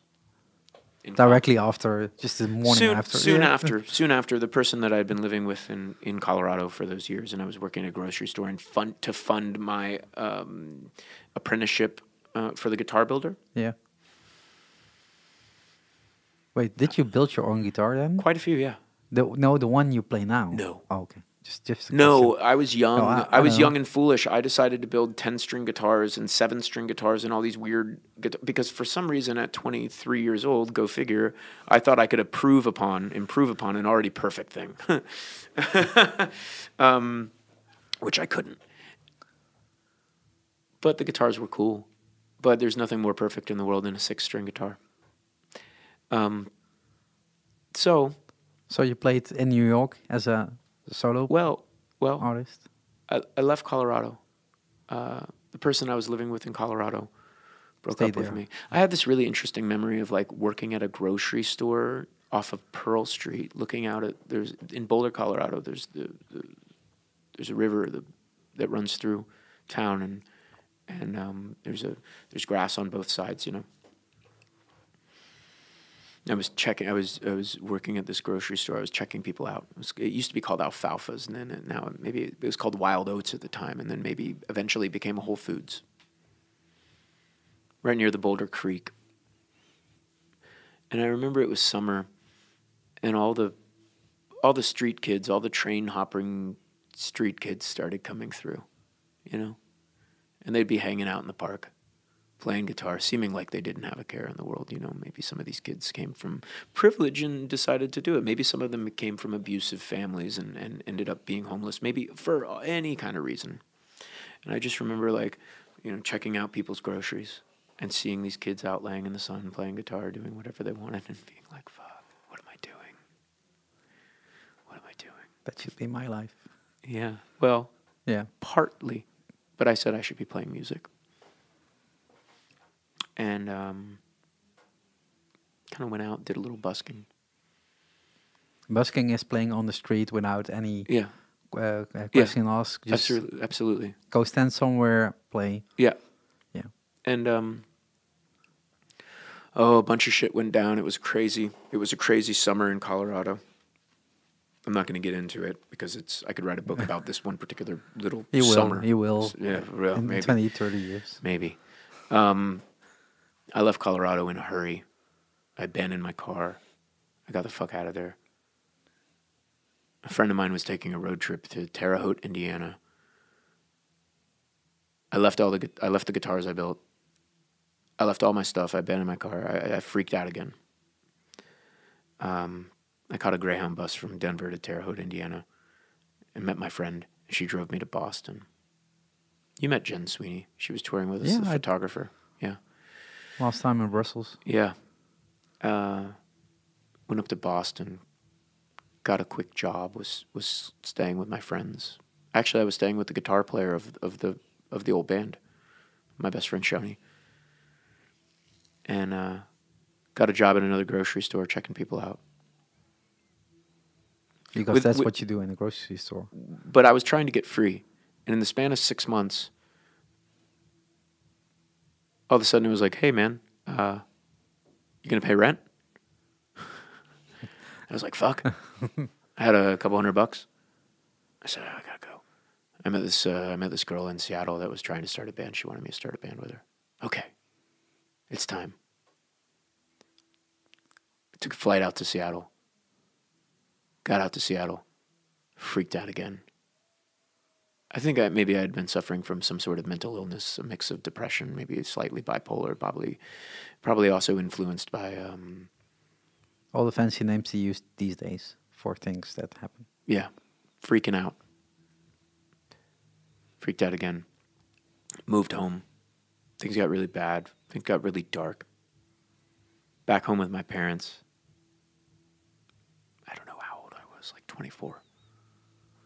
A friend of mine, uh, a girl that was working at the bookstore that I used to work at back home. The one where I learned a bunch of cool things. I was hanging out with her. She said, um, I said, Leia, let's go up to Asheville, North Carolina. I got a friend there. Got in the car. We drove up to Asheville, North Carolina. I stayed there for a year. Never went home. I was home for no matter of maybe a week at my parents' house. I wasn't home anymore. Stayed in Asheville, North Carolina. Met a girl. Kind of broke me open a little bit. She was going up to up to New York. She was going up to upstate New York to go to school. I caught a ride. We we broke up because she was leaving. Sort of, you know, broke up, whatever. I mean, back in the day, those things were serious. I guess they are now too. She was going to New York. We hadn't spoken. I caught a ride to New York City with her with my guitar. Got rid of all my shit again. I had found in Asheville, in North Carolina, I had found the guitar that I play. I traded in some crap, some pedals, maybe a delay pedal or something, you know. My roommate and I were like, let's play. I was playing electric guitar. My roommate and I were like, let's start his band. I said, I don't want to play music with anybody. Do you know what I mean? I don't want to. I don't want to talk endlessly about what we could do.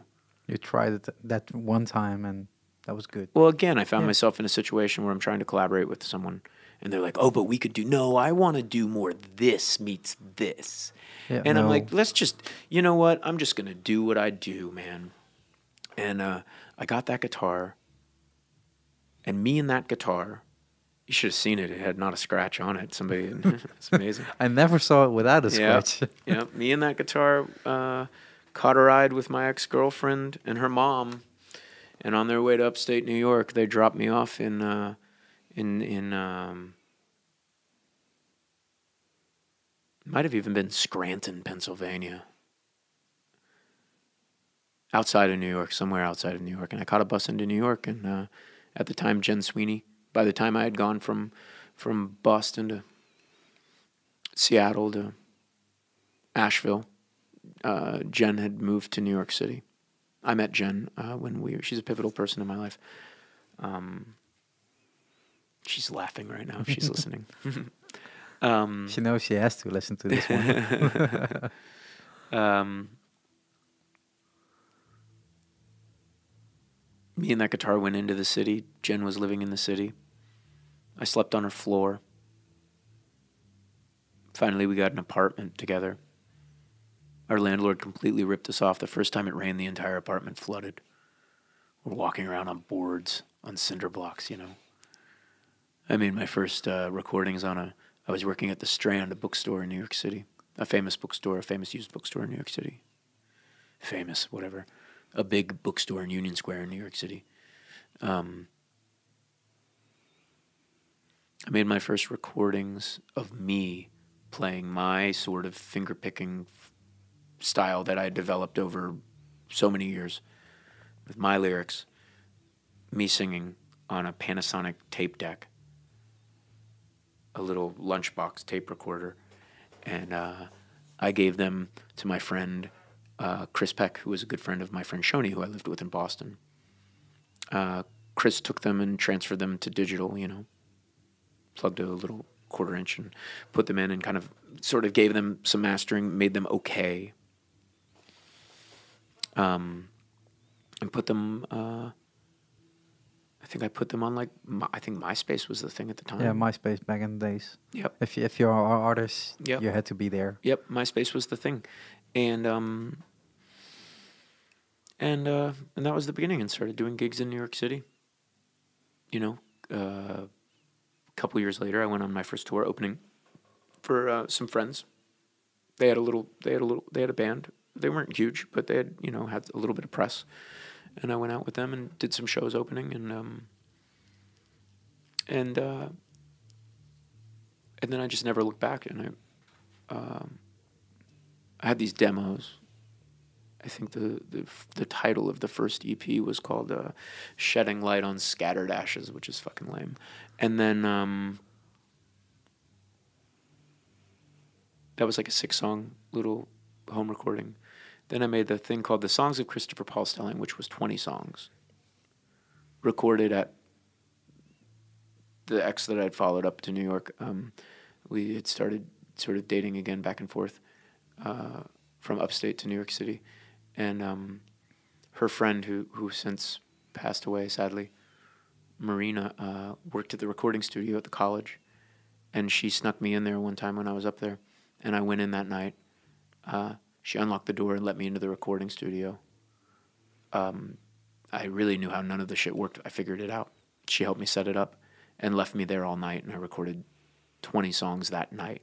That's insane. 20 songs that night. And that became the sort of Songs of Christopher Paul Stelling, which was a little record that I made in paper bags. And everybody's like, "Well, you have to make a real record." And I was like, "What the fuck does this mean?" Like, like, It's they're a real like, "Well, you can't put them in paper bags." You You, yes, you can. Yeah, you can do anything you yeah, want. Exactly. So eventually, I made, I picked some of the better songs and a few more new songs off of that collection, and I started getting gigs around New York City. And I did this first tour, and I, I released, um, and I got a booking agent somehow. My buddy Spencer, also, my buddy Spencer. Uh, I met him on a train. He was starting to like intern at a record label, and he became like my sort of manager, you know. And we started doing house concerts in Bed Stuy and Brooklyn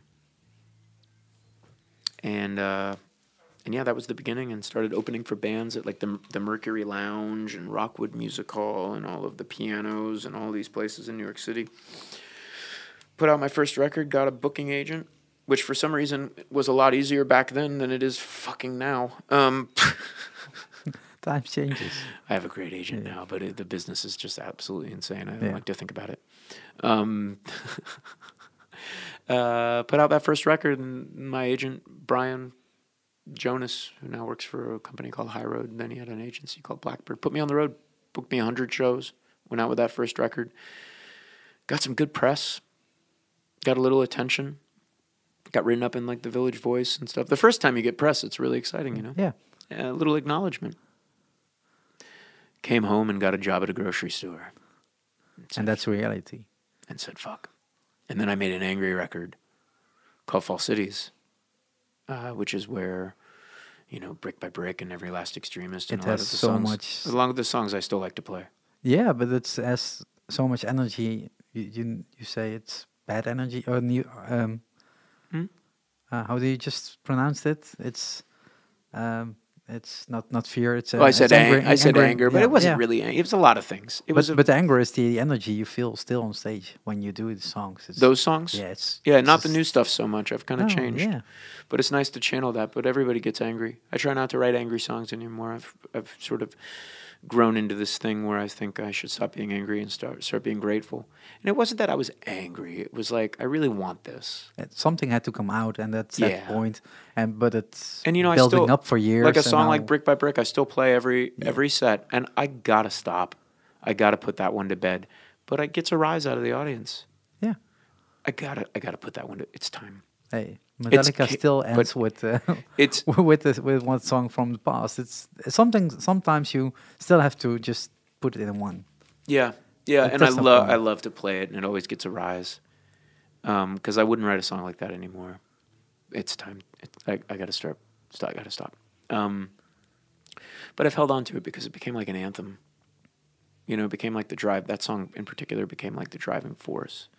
So False Cities came out, and then I started touring for real, and uh, and then when that before that record came out, I uh, I said I and now's the time I got to go to Europe. And I was self-releasing these these records. The first record I made with like a, a thousand dollars, a small loan. Second record, my great uncle had passed away, and he had he had um, left me a little bit of money. I think maybe like you know, and I pressed records, you know, and but then you know that money was all gone. So you know, wow, and uh, you know, a lot of people press a CD and then it sits in a box. Uh, they do one or two shows with it. Not a lot of people, but you know what I mean. I'm like, okay, so I just pressed 500 LPs and 1,000 CDs, and I have to go get rid of them. because the couple thousand dollars that this cost, and you know, we we pressed the LPs, we press the CDs, but uh, I ordered all the parts separately and assembled them all myself, printed out the That's download cheaper. codes, stuffed them. Oh Yeah. yeah, it got it, Yeah. it it literally cut the cost in half. Yeah. My buddy Spencer, we had a pizza party and we had all of our friends come over and help. There's Um, a party at my place. But, Yeah. uh, I didn't tell you. You have to help. Yeah, yeah, yeah. And uh, Here's a pizza and I sent and I sent that record before it came out. Um, a small Canadian label. My friend Shauna Cooper. Uh, uh, I met her. I don't know how I emailed her. Um, I emailed her. I was just looking at what other people were doing, people that were going, uh, that were doing music, and I, I looked at everybody that was going to Europe and I made a list of like you know seven or eight booking agents. And before the record came, I knew at this point that once a record was out, nobody could do anything with it. No, exactly. But I figured out that if, from doing the first one, I learned that if you started setting up things before the record came out, you could actually get some shit going on. yeah, most artists forget that point. Yeah, they want to hurry up and put it out. exactly. You got to really set up this shit. It takes a long time. Once it's out, once yeah. it's out, it's out. The Yeah. moment it's the it's the lead up actually these days. It, well, it used to be the first single would come out and then people would go buy the record at a store, and then a new single would come out. Nobody could hear the record unless they bought the whole thing. Now on release day, the whole thing is out, and I I disagree with this method. I think records should be released more like movies. First you go to the theater and then eventually blah blah blah blah down Oh, down yeah. down the level of theater and then streaming and then on TV whatever. But even that's changing now because of streaming. Yeah. Um, I don't know if it's I don't- Movies I- are released on yeah. Netflix instead. I, I will. I won't go as far to say it's ruining everything because I'm not a nostalgic person. I think we should keep moving forward. But um, It made sense back in the days. yeah, so I I, uh, I I noticed that a couple of bands and people I knew. I think Morgan O'Kane was one of them. Um, were using this small agency in Europe called Sedate. I sent them the record, and um, I'll never forget when I got the response from him. I'm sitting on my couch. I've got my old shitty laptop. Actually, I think it was I didn't even have a laptop at the time. I, uh, by the way, I started dating Julia before the first record came out. Okay. Before Songs of Praise. This is a very important thing. Um, Julia, who's now my fiance and has been on all of my records and all of you know, um, my partner for life. She is amazing. She's amazing. Yeah. Um, I mean, she helped me get my, sh- you know, if, if she didn't believe in me, I probably never would have made the first record. Um, no, I probably, I definitely wouldn't have. Um, I probably would have given up many times, but I remember I checked my inbox and Sedate Bookings got back to me. And the moment that email hit my inbox, the light bulb in the ceiling above my head exploded. The light bulb exploded. And the glass came down. I don't know what the fuck, but that email popped up. I said, "Oh my god," because back in those days, nobody ever wrote me back. I'd send hundreds and hundreds No, of I- emails to promoters and booking agents and people, and nobody would write me back. People still don't write Yeah, me back. no. But that's how it works. You send hundreds of emails and Hun- get one, hundreds.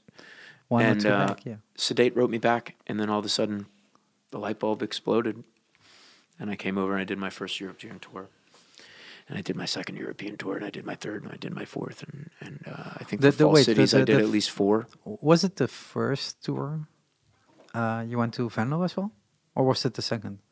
I don't know. We could look that up. Yeah. Probably the first one, and I played upstairs at that place that's since closed there. Yeah, yeah. yeah. That was the first tour. Yeah. That, that's where we met. Okay. Yeah. Maybe it was second, but I don't know. No, It doesn't yeah. matter because they were uh, the first tour was eight shows, and then the second one was uh, maybe even five. I, I wrote a song for a museum in Groningen, Yeah. the Groninger Museum. I was playing in Charlottesville, Virginia. Ah, before False Cities came out. I also did a tour with this thing called The Moth. I did a tour called the Unchained Tour, which was storytellers from The Moth. I learned a lot about storytelling. Um, Tim Manley, Peter Aguero, Micaela Blei, like all these storytellers that have have, you know, had had stories told on The Moth, which is a very popular podcast, uh, a storytelling podcast. Anyway, they, they did a tour, and after the first record came out, I went on tour with them. And I would play in between people telling these stories, like rehearsed, scripted stories, but r- true stories about their life. Well, truth bent. All good And stories. some lightning All when, good when you, you stories are- to play all in good- between Yeah, brick, brick to brick. Sure.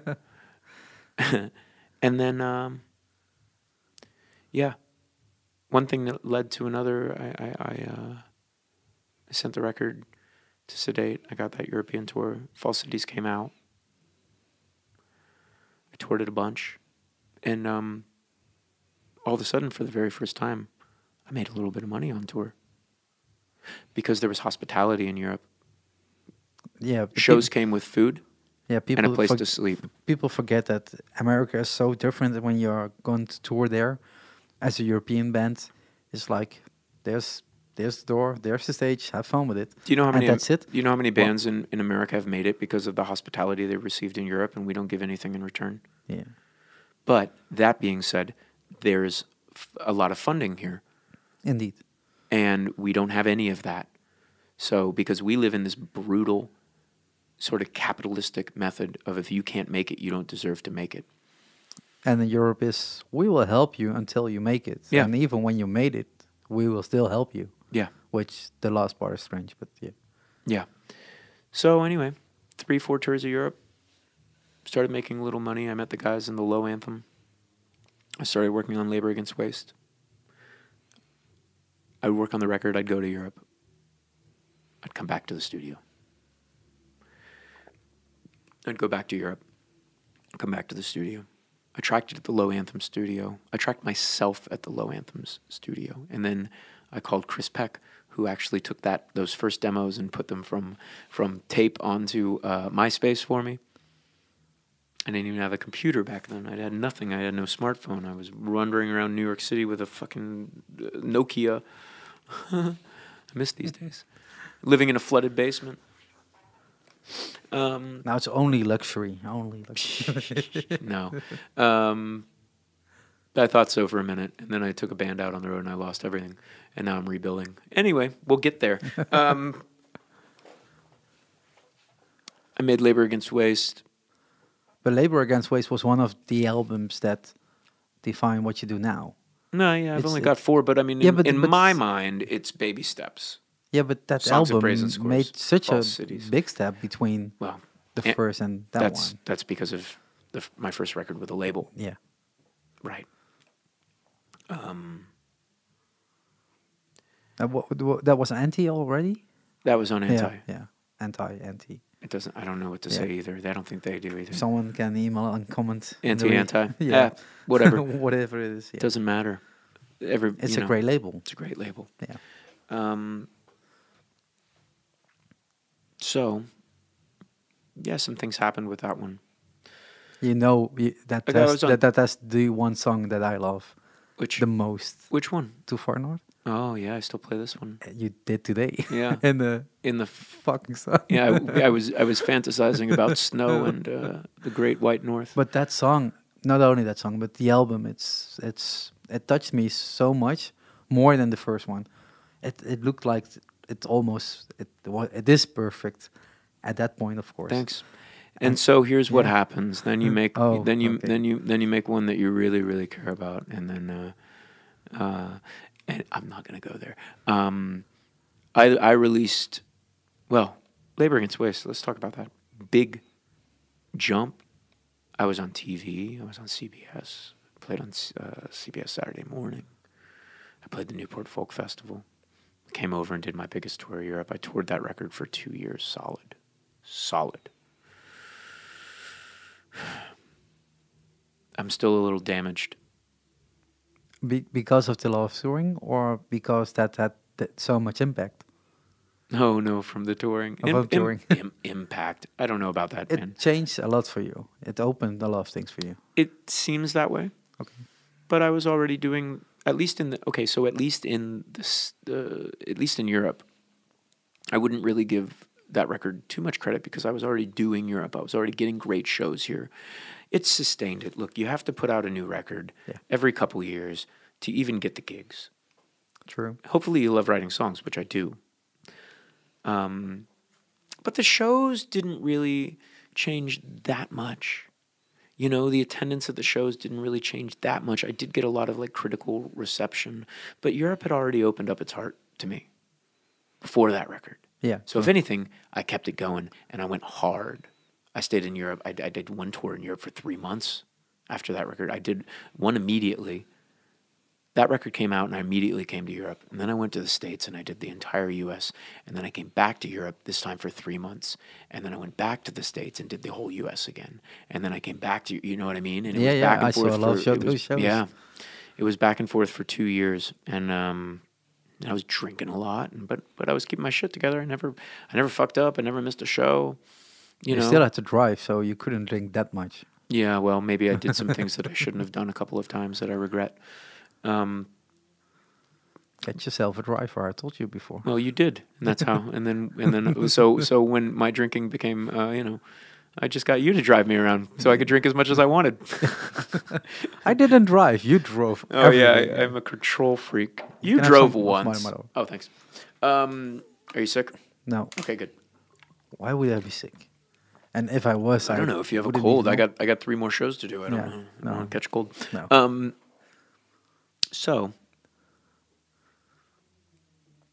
the labor against waste thing was a was a big thing for me, and um, and what I thought was going to be the end of it.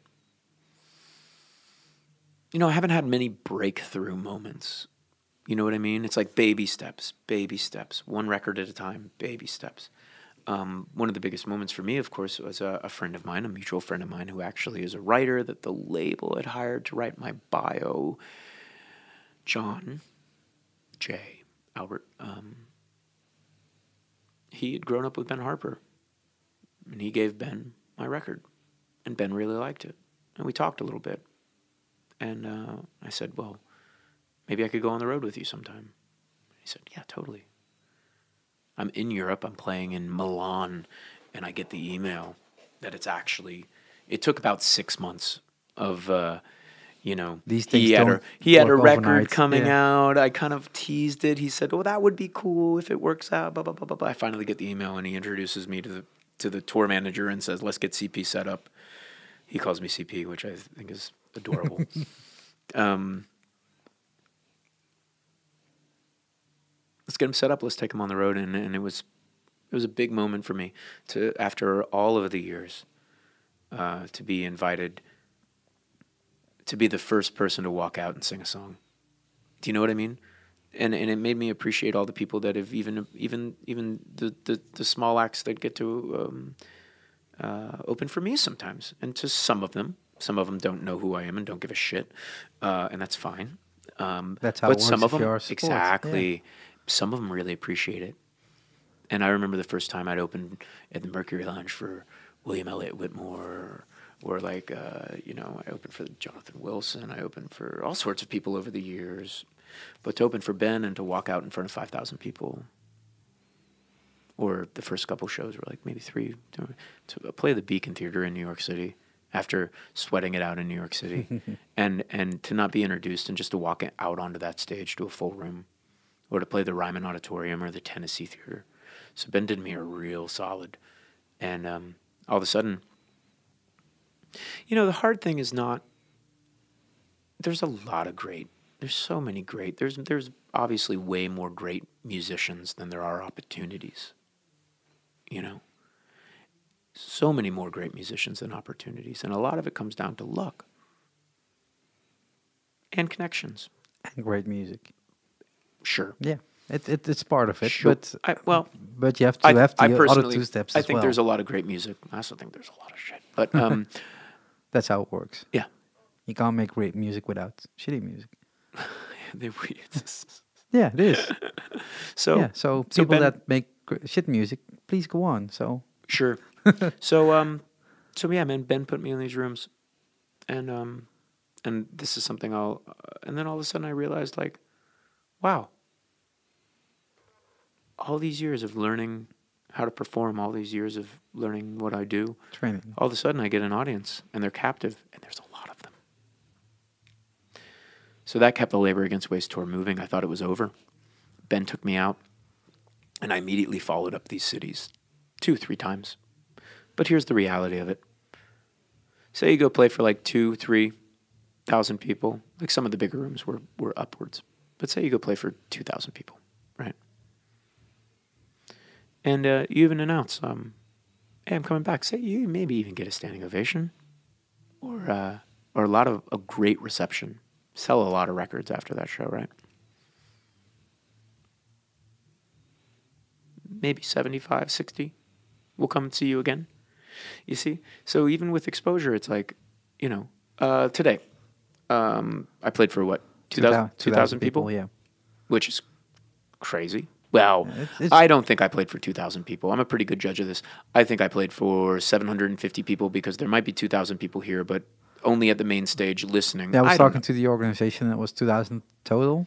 total. And I think there was said, uh, 750 I said 1,500 to be to be nice. yeah. No, no. No, I, I, I would rather. yeah. Um, one thing you learn in this is it's always better to underestimate. Yeah. Because if you start overestimating now, you're gonna really, uh, because you're always gonna increase these things. Yeah. So you know, 800 people. Let's say 750, 800, maybe a little more.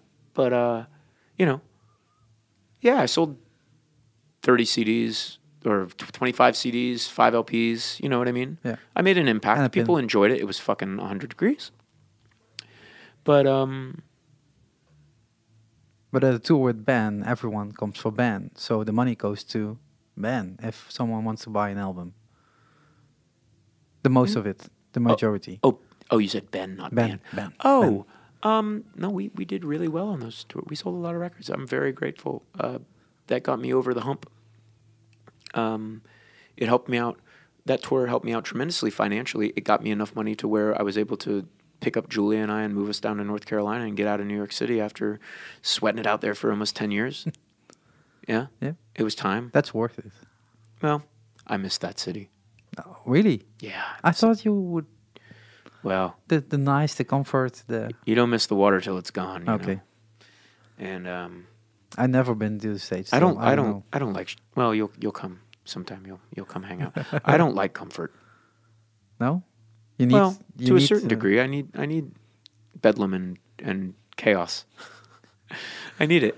You know, um, one of the one of the things that got me over, I think, my a lot of the anxieties that I had in my early twenties was all of a sudden, uh, you know, I, in Boulder, in in Boston, in Seattle, in Asheville, I thought I was losing my mind. Sometimes I had this fire in my skull, and all of a sudden, I moved to New York City, and I felt with that city swirling and spinning and spitting and turning around me, and the jackhammers and the taxi cabs and the horns and the subways and all of the craziness, I felt calm for the very first time. Oh, wow. Yeah. So uh, the, I miss the city, and I'm going back, and I'm going back. I'm gonna go back, and I'm gonna see. Uh, I'm gonna go see Ben actually for a couple of nights. He's become a friend after all this, and maybe we'll be working on something in the future. I don't know. I sound like Trump. We'll see. We'll see. We'll see. Maybe you should Twitter Um, him. Yeah. so um, yeah, I'm gonna go. Uh, I'm gonna go to New York City after this tour. I'm going to Portugal after this, which is amazing. You still have some shows. Uh, yeah, I got a show tomorrow. Yeah, Rotterdam. No, Rotterdam was canceled. No, seriously? Yeah, the guy booked the show. He booked a house show, and then he said, "Oh, I have to go to work." Oh, that's stupid. Well, I took a chance. I was like, "A house show would be fun," and then he, yeah, whatever. then this happens. Whatever. You know what the funny thing is? Um, the last time I was here, the Rotterdam show got canceled. We worked with the wrong promoter. He freaked out at the last minute. Was worried about selling tickets and canceled the show. And this guy that did, the guy that saved my ass when I was with the band, yeah. put together a quick show for me, right? And then this time, I thought, good. let's go with him Yeah, again. He put yeah. together a show in a day, and this time he cancels the Yeah. show. Um, but whatever. you know what? I've only had one, maybe two shows canceled in my entire career, and I've played a thousand. So, Yeah. um, uh, but that being said, I have tomorrow off, and I actually need a day off. You have a day off. I'm gonna go see Heis. By Oh, the way, I amazing. mentioned sedate booking. Yeah. Uh, Heis and and Gaira, my my angels, my sweet sweet angels. Um, none of this. Wouldn't be possible without no, him. No. no, no, no, no. Oh, started with a light bulb. Yeah. yeah, it started with a light bulb. So, uh, where am I? I'm in. Uh, uh, this is Duisburg. I have tomorrow off. Thank God. Recklinghausen. yeah. Uh, maybe I come to that show. Come on down. Yeah. Of course. That would be Uh, my last show for from this tour. okay. So dig this from Recklinghausen to Bern, Switzerland, which is at least It's a, it's it's just around the corner, of course. at least eight hour drive. Yeah, it's insane. And then the next day I have the thirtieth off. I, I drive from Bern. I don't know. I'm so close right now to Amsterdam. I don't. I'm going to Bern. This is how much I love what I do. Um, I'll I'll go from here, which is literally an hour and a half to the airport. So I'll drive eight hours in the wrong direction, uh, play a show, and then I'll drive uh, eleven hours back No. here, No, back here, You're kidding me. back here. Uh, and then I'll fly to Lisbon, and I've got uh, Lisbon, Coimbra, Coimbra, uh, Portugal, and Portalegre. And uh, Portalegre, I finish on the 2nd of June, and it's June. So for the very first time, I'm going to hang out in Portugal for a couple days.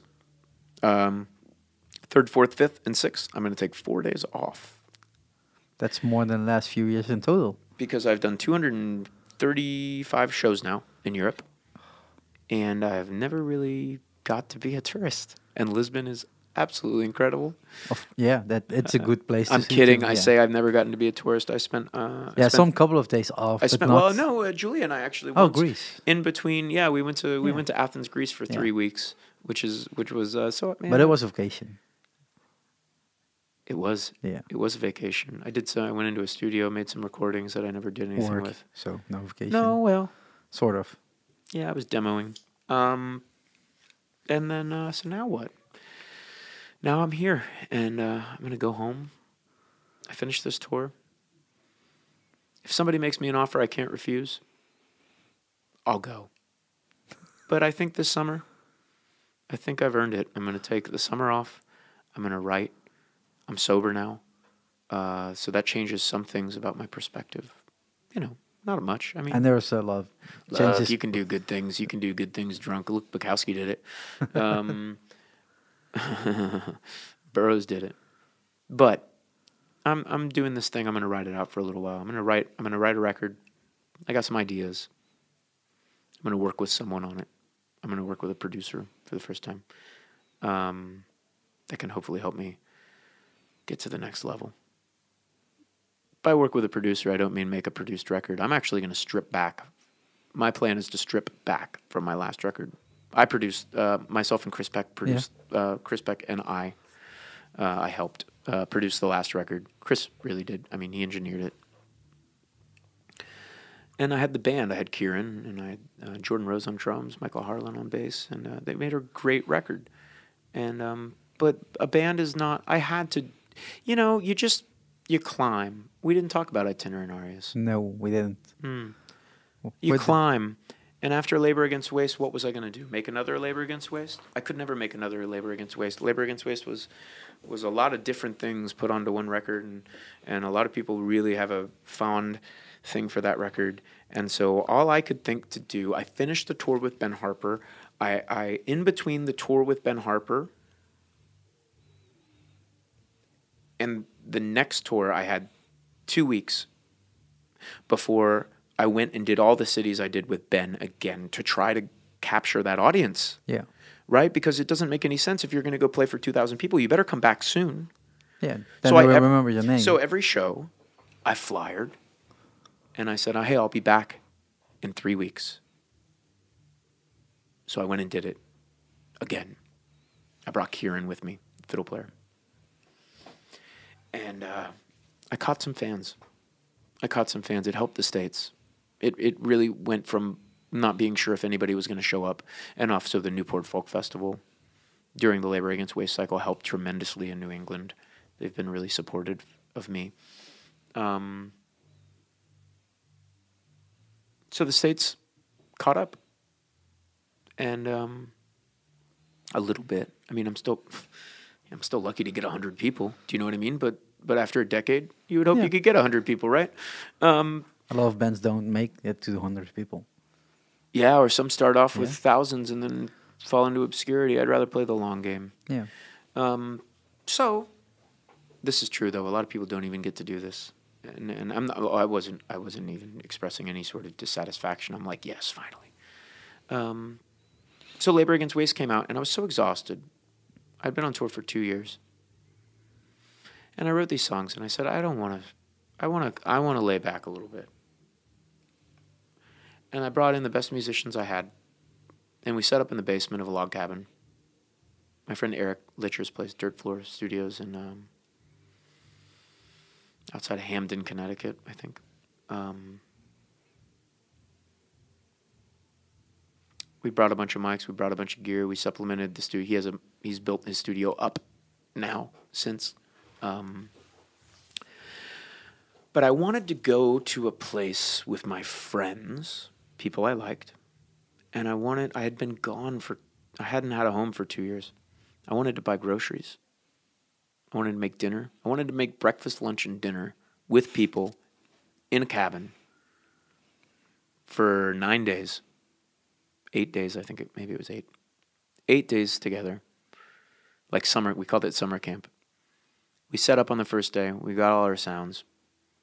I had sent them the demos of the songs, and they're extremely competent musicians. I mean, much they more, are amazing. much yeah. more competent than I am. Uh, sort of theoretically, Yeah. you know, uh, skill on a skill level. skill based. Yeah. Yeah, I can come up with stuff and do my doodly doos, but these guys actually know what they're doing, um, and also have a lot of style. So we went in there, and uh, we had a couple friends swing by, and we, uh, you know, Julie and I were mom and dad, and we made we made breakfast, lunch, and dinner together, and it was absolutely what I needed. And uh, For eight days. for eight days, and the Trumpocalypse was looming on the Mhm. horizon at this time, and uh, not even looming. I think he had just actually just gotten the election. Remember the show that we played in Groningen at the at the at the theater, Grand Theater. the Grand yeah. Theater in Groningen on Valentine's Day. I think he had just recently gotten the election. I knew it was. I knew it was going. I knew it was going to happen. I absolutely knew. So You wrote a you song about it. yeah. And uh, I turned that record in in September. Um, maybe even earlier. But um, I, I, I'm really, I'm actually quite, I'm just as proud, if not a little prouder, uh, from a maturity perspective, from a writing perspective. I think, I think itinerant arias is is is uh, r- has kind of some of the shtick a song like Horse or a song like Revenge, you know, that that It's kind mature. of yeah, Yeah. some of the folky shtick, which is coming from a sincere place, but um, you know, I wanted to make more of like a sort of uh, I don't know, like a Nick Cave record or something, like a like a record with some real depth and substance and lack of lack of uh, shtick. And uh, I think it was accomplished, but I also think that it came out soon after, you know, re- releasing. Remember when we talked when I talked about how like after 9-11, Mm-hmm. um, everything shut down. I feel like after this past election, we all shut down. We all shut down As a nation. uh, uh, uh, uh, a em- world. uh, emotionally, Yeah. physically. Some of us, I mean, uh, uh, whether we're admitting to it or now, I'm just think I think people are starting to come out of their of this shell, but uh, emotionally, uh, a lot of people, a lot of people got depressed. It really felt like after after such an exemplary, beautiful, uh, thoughtful um, president, especially after eight Yeah, of years of George, you know, of Junior, of W, and all that circus. Then you get Obama oh, yeah. was amazing. He was elected in 2012, right? Which was um, Oh, before that, I think.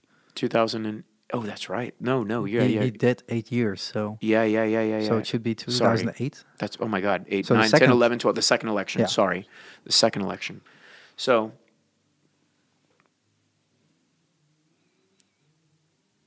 songs of praise and scorn, false cities, labor against waste. Who was president?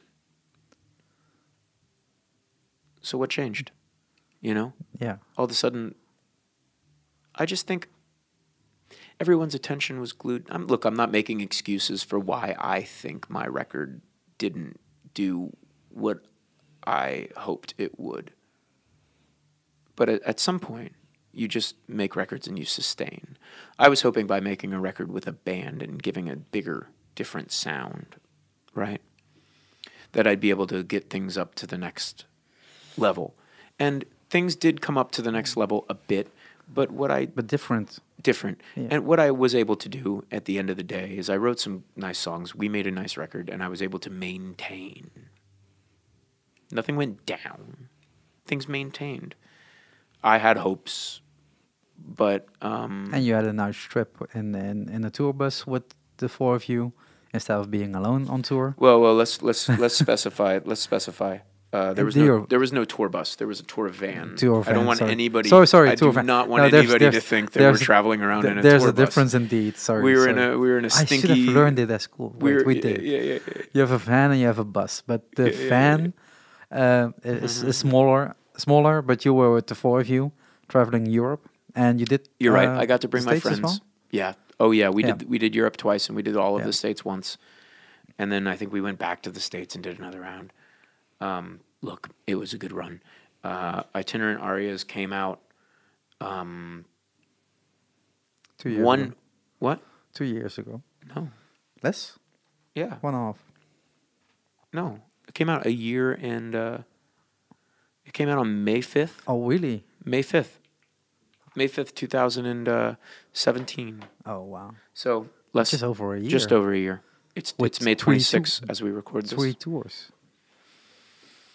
That's a lot. three tours of Europe. No. Well, three tours of Europe, and Yeah. then and then uh, at least three tours of the states. I mean, I've been Yeah. on I've been on the road now uh, for well, I took uh, I took November, December, January, February off. No, Oh. yeah, November, December, January, February off, um, and that's when I quit drinking, uh, which doesn't matter. I bring it up, but it was a it's a big deal for me. I don't care. No. Whatever. When when you did it for the first time, Whatever, man. I, I after yeah after after years and years and years, I did a tour without alcohol, and Yeah. I'm gonna pat myself on the back for that. Yeah. But uh, I can't reach you. I, i'm not you trying. I'm not trying to sound like an elitist or, or no, but it is, it is something. People forget that. yeah. Um, well, especially when it's your crutch. Yeah. You know, I'm a, I've gotten rid of the crutch, walking on my own a little. But But what did you hope for with with the band? That you play? I hope the band would be able to sustain itself. Okay. I hope the band would be able to go on the road, and uh, I mean, I never even got to take out a drummer. No. I uh, obviously the record. Obviously, the record had a drummer. The reason I, I replaced the rhythm section on, I kept Kieran and Julia, Mm-hmm. and I replaced the rhythm section Michael and Jordan, who we refer to during the recording process as Yeah. Michael Jordan because they're fucking incredible. Um, uh, with with Matt Murphy. Uh, who plays upright bass in Yeah. more of a rockabilly slap style? Yeah. Uh, I knew I wouldn't be able to afford a fourth person uh, well, I'm the fourth person, but you know Yeah, what I mean. the fifth Or- person. yeah, yeah, I didn't. I Because it I, means a different van, means different. well, no, we could have done it with the van. It just means paying another person, Yeah, but paying for another person another set of plane tickets. So I, I, I figured out pretty quickly when I crunched the numbers, um, that I would have gotten pretty screwed had I brought out drums as well. And what I didn't realize is, um, man, dealing with sound systems is hard enough. and if you want to add a drummer, it's Oh a my whole god! different thing. Oh my god! I, I so what this process of touring the band taught me is how much I love folk music, how much I love really. I mean, I was burnt out and I needed to travel with some people and I needed to play with some people and it was great. And I got to bring Matt and Kieran and Julia to Europe. I was able to pay for everything. You know, uh, well, I definitely uh, financially it was hard. Um, at the end of tour, which is also why I quit drinking. So at the end of tour, I went home and it basically sustained itself for the for the time that we were on the road. And I got home and um, and that was it. You know, I got home and and uh, with only enough money to be like, oh, okay, I'm gonna be okay for like a month, and I got to figure something out. You know, and I was drinking a lot because I was kind of upset because I was like, fuck, I just worked my ass off for a year and now I'm broke for the first time because Labor Against Waste, I was touring by myself. I came home with, with enough money to be okay for a minute. Yeah. And people don't like to talk about money, but I think they should. Yeah. And I think they should from an honest and from a, um, a, per- a, a real perspective place because one of the things that young musicians ask me more than anything is how do you afford it? They know how to make music. They don't give a shit about how to write a song. They're like, how do you make it work? That's what they want to Yeah. know. They don't give a shit. They have their own artistic vision. But there's a way to make it work financially that has nothing to do with creativity. Creativity. Well, that's not true at all. You have to be extremely creative to make it work financially. Yeah. Um, you have to be extremely flexible. Uh, so, um, once again, uh, my beautiful sedate booking and my beautiful flannel and beard booking in uh, in the U.S. Uh, we got a tour together. I did 25 shows in the states, or maybe 30. This tour is about 26, 27 shows, and so I'm out working my ass off to make a little scratch, so I can go home and write a new record. So I can go home and Yeah. and and So you have the time to make that So I can because time is money, man. Yeah. Money is time, and um, it can buy you time. You know, it can pay your rent while you sit indeed. at your. It could it could pay your rent while you sit at your desk and. Uh, Otherwise, you have to work at the grocery store and make a record and do this is. and do you know how many people do that? Yeah. Everybody does that. yeah. Everybody does that, but they not don't. having to work means you have eight hours a day more. What I'm scared of is I'd have to go and apply for a job, and they'd be like, "So uh, we see you haven't. What have you been doing for the past six years? Uh, what do you think makes you qualified for this uh, cashier position?" And I'd say, "Well, I've been on tour for the past six years." I know how to work money. I count it every night. No, God. oh come on, count the coins. Yeah. Um, so, so yeah, I'm working my ass off still. I've had some success. I've had some failures. I'm working my ass off, and uh, I'm gonna I'm gonna make a new record, and I think it's gonna be great. And um, but you know the That's a new is, baby step. so there you exactly a new baby step. so I've done two records for Anti now. You know, I got one more on my deal if they take it. They have the option. So you so that means you make a record, you send it to them, and they decide if it's gonna re- be There's a variety. There's a variety of ways it could it could work, but they they have the first the, they first have- option. They have the first Yeah. option. Um, But if you make it and they they say no, why would they? But then you can go shopping around. It's not that they own the record at that point already. oh yeah, totally. Well, hopefully, if they're kind, I think they're going to put it out. Um, I'm not trying to get ahead of myself. You should never be too. one thing I learned about this is you should never be too sure. Um, but uh, I've got I've enlisted some some good you help. Prove, yeah, you prove yourself, and the next step is Well, I've I've made some records now. that's the reason I've, why. Yeah, and I've en- I've enlisted the help of a friend that's a, has made a lot of records and is is a great producer, and I think is uh, in the beginning stages of writing this record. I've been sending demos to him, and his his notes are beautiful. They're so simple. Every help. He's not yeah. telling me to do anything. He said, you know what? He, the first song I sent him, I said, why don't you slow this down like 20 BPM? I slowed it down. and It, it freaked me out. All of a sudden, it worked, and I was like, wow.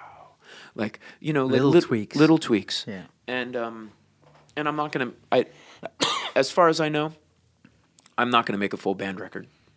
I'm gonna return to more Solo of, again. more of my well, not so. I, I got some. I got you some get some tricks. help I got and- some yeah. tricks. I got some ideas.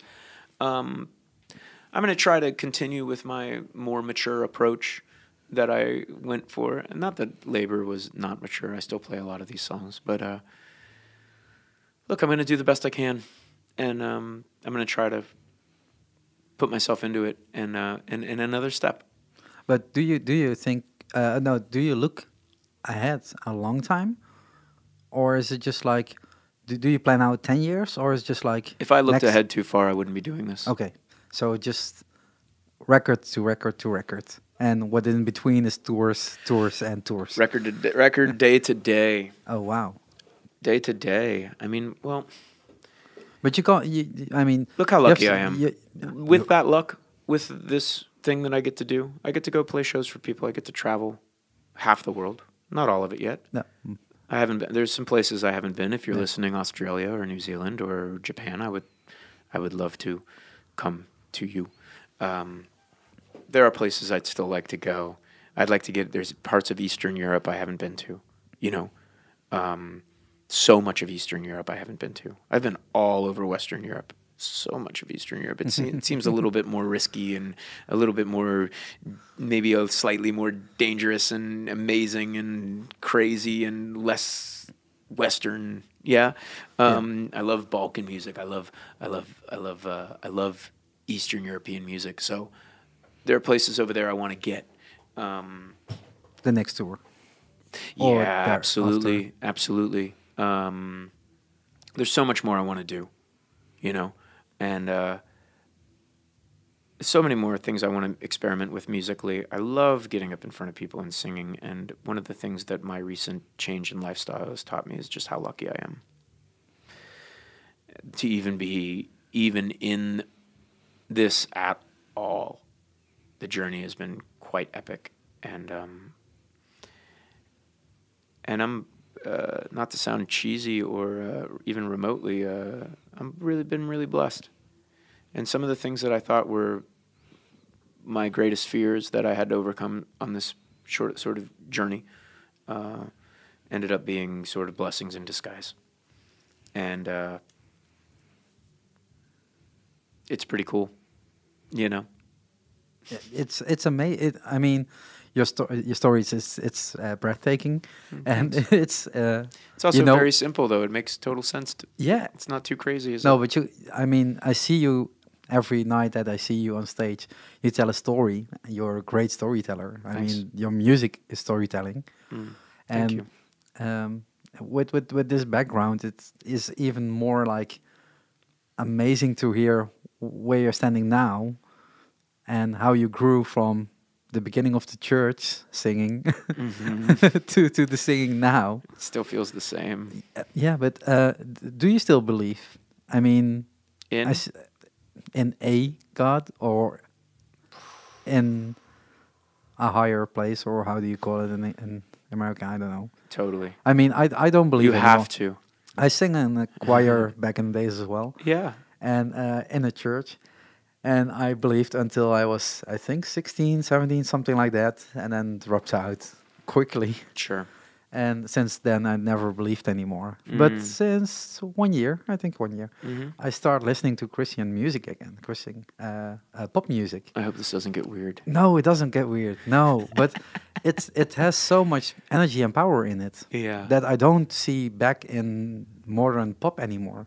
uh, The modern pop is so standard and it's it's nothing new. yeah. It has no. I could recommend some great Where do you Uh, listen to? me. Well, Yeah. we were kind of talking about like You only listen music. to podcasts, of course. it's kind of true. Yeah, Uh, lately, I've been listening to a lot of like recordings by like Sister Rosetta Tharpe, who was one of the first, like, actually uh, one of the first electric guitar players. Who's a black woman. Uh, led a gospel choir. Was a gospel singer. Um, also one of the first electric guitar players. I think actually this year she was inducted into the Rock and Roll Hall of Fame. But it was a record I liked a lot a long time ago, and I'm I'm back into it again. Um, But do you listen to new music then? new music i'll i'm i have a tendency more to listen to the same record a hundred times than i would listen to uh, i'm not i'm not one of these people like some of my friends that are constantly listening to everything that's new Yeah. i have records that i love and um i'm somewhat of a monogamist with music you know? I'm not i'm not seeing other people you know? I'm not dating around. I'm not into polygamy. I have things that i love and i'll go back to them and back to them. And occasionally something will really knock me out Yeah, we'll and stand I'll, up I'll go back to it. yeah. but you asked an interesting question and about about belief. Maybe you are it. sure. Yeah. maybe we're all Maybe maybe, we're- everyone is their own personal god and everyone around them is is is a manifestation of something that is beyond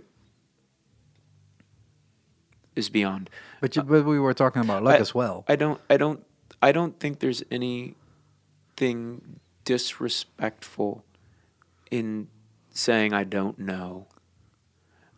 I think the concept of faith and blind faith um, there's a difference between having faith that things are going to work out and having faith in that there is something uh, that ties us all together and makes us all part of the same experience. There's something beautiful in that.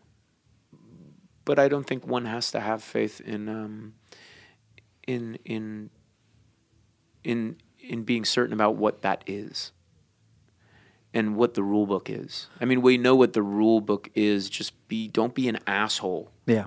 That's the rule book. Don't be Try like to our be president. kind. Well, Yeah. try to be kind. Try to have patience.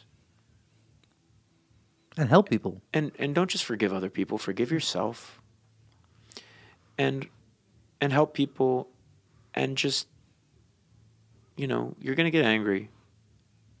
You know it's something happened recently? I'm driving in the car and i feel like i have anger all figured out. I feel like i got to this place all of a sudden i got all this boost of confidence where i thought i could never be angry again. I, i'm full of gratitude and i'm full of peace. And that day i experienced probably the most anger that I had experienced in quite a long time. So Traffic jams. yeah, it's it's kind of like when I was drinking. If I said I was taking a night off and I went out, I would probably get more drunk that night Yeah. uh, than than ever. Um, so I don't. Uh, I believe in this experience. I believe in this life. That's enough. I'm completely. Um, I think ag- agnostic is the right term. Uh, I'm, I'm certainly not an atheist. I don't believe in nothing. I mean, this is definitely happening. This is happening. Yeah. Um, but do I subscribe to any sort of religion? No. It's uh, you, don't need to. I mean, uh, some people are really into a church or into a god or find find a way to get it get signed. And there's there's something and beautiful. other look, there- people are just look, there's a beautiful there's a beautiful thing to be said about community. yeah. Uh, Henry Miller once said that maybe God needs us more than we need Him. Never heard that, but it's I mean, it's hey, wrong. Yeah.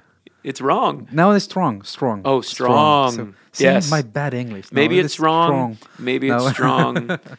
no, but it, it, it's um the, last year I was I was thinking why did I uh stop believing or believing in God in the, in this case. Mhm. But when I listen to music, everyone that I tell it, they start start laughing because you're listening to Christian music, and it's like, yeah, but listen to the music. It's the music that's applying to me, not the song, uh, the the lyrics or whatever. I don't care about it. Well, you find it uplifting. but it's and that's it's the amazing. But Yeah, this is the but this is the point of the music, isn't it? Yeah. The point of the music is to inspire people, uplift them, and one of the sinister things I find about religious music at times, especially the more corporate uh, religious music, is Yeah. it gets you really excited, and then they pass the hat. You know what I mean? Yeah. But guess what? I get people excited, and then I pass the hat too. yeah. And um, hopefully, that organization is doing a little bit more uh, charitable good. Um, who knows? yeah. But I, But maybe I shouldn't pay taxes either, since I'm doing essentially the same oh, thing. true. Yeah, that's that's the whole thing I, I heard about it. That uh, that that Hillsong didn't pay taxes or don't need to pay taxes because they are a church. But Uh, it's a- on it- music, Yeah, well, it's a great stuff, way. yeah. It's a great. Uh, God is a big business, yeah. and um, and uh, that's interesting that you enjoy the music. You should try some old gospel music. Yeah, Some of the old. Just, just send me some. I, I I will. will.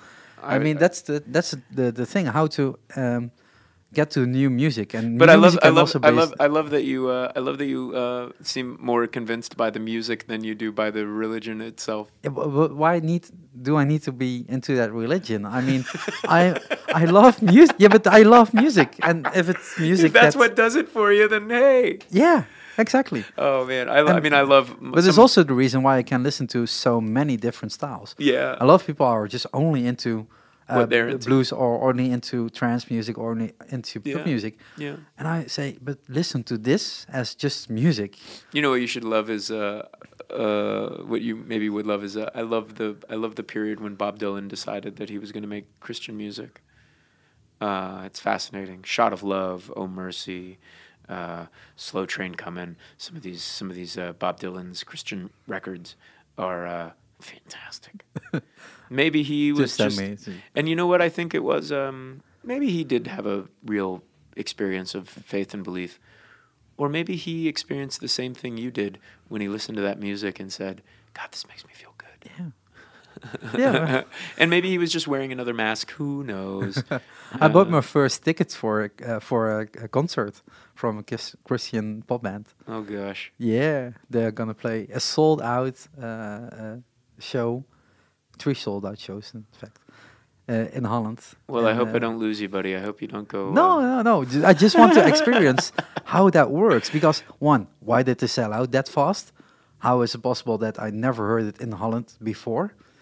And how does that thing works? Is is is it? Will there be uh, a preacher and will there be a Yeah, real different experience for a normal concert person? Yeah. Or how does it work? So and today, um, uh, in Holland is one of the biggest uh, things. Uh, all the youth gather together in a stadium. It's thirty-five thousand people, I think, mhm. that are uh, for God. It, I don't know. I can't remember the name, but it's a big event for the youth that believe in God, and they gather in a stadium. I mean, I see the Hillsong things that are stadiums, but in Holland, I mean, never heard of it. Mm. I know that exists, but shows in my region, I don't ever see a show that's uh, believing in anything, uh, as in in uh, faith. How do you say that? Mm. we Yeah, have I just know. normal I, shows. you know, the, the, the, the people getting together and believing in one thing kind of freaks me out. yeah, I see a funniness to it. I just, even though I'm, a, even though I uh, try to remain optimistic about everything.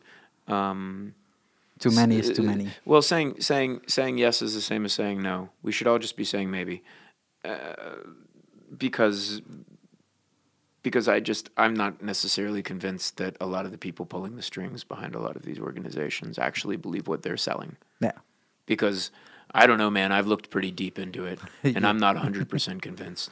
So how could anybody be?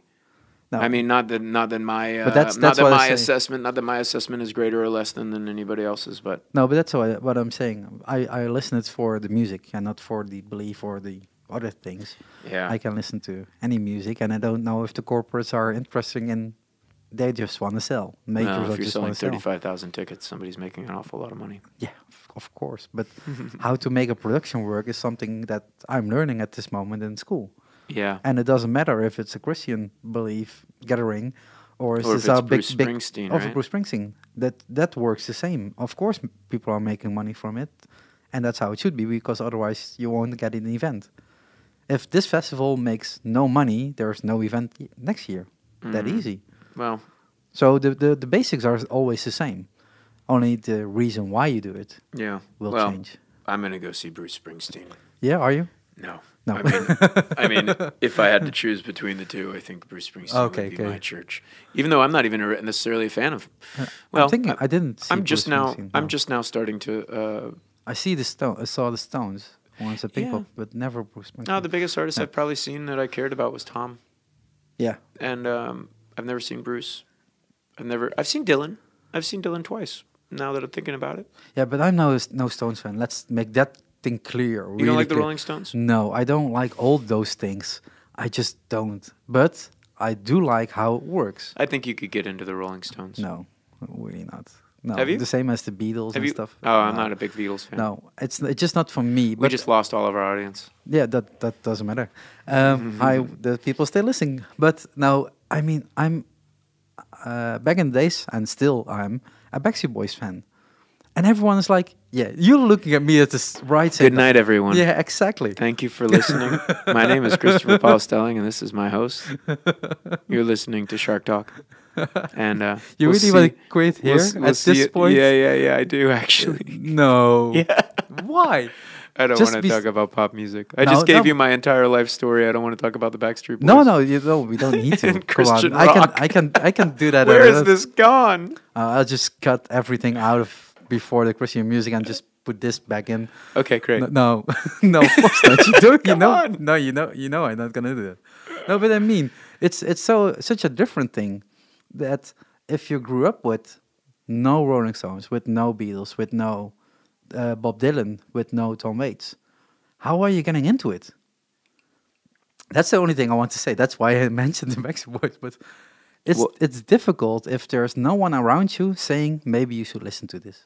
Mm, You You're not gonna start listening to Uh, it. No, I think I think music. I think music and the appreciation of music is inherently uh, buried deep within us, and I think if uh, if if you took a person, now, I don't believe that we should experiment with life at all to a But certain let's degree. try. but no, I think I think if you took a person and you um, if you took a baby, a newborn baby, uh, maybe people have done sick experiments in the past, but maybe this is one they've done, but I doubt it. I don't know.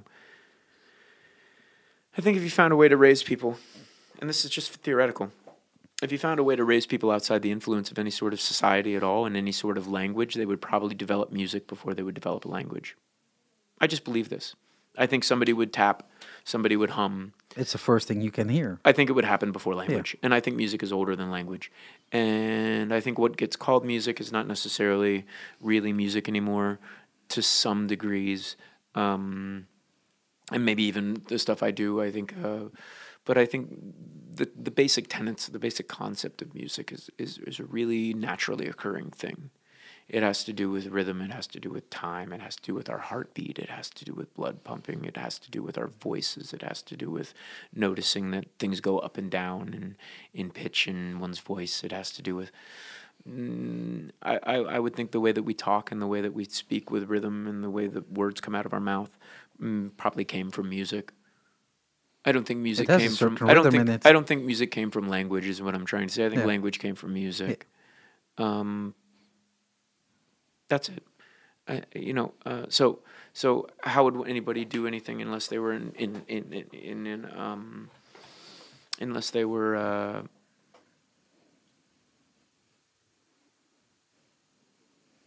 introduced to it? I guess what I was kind of thinking is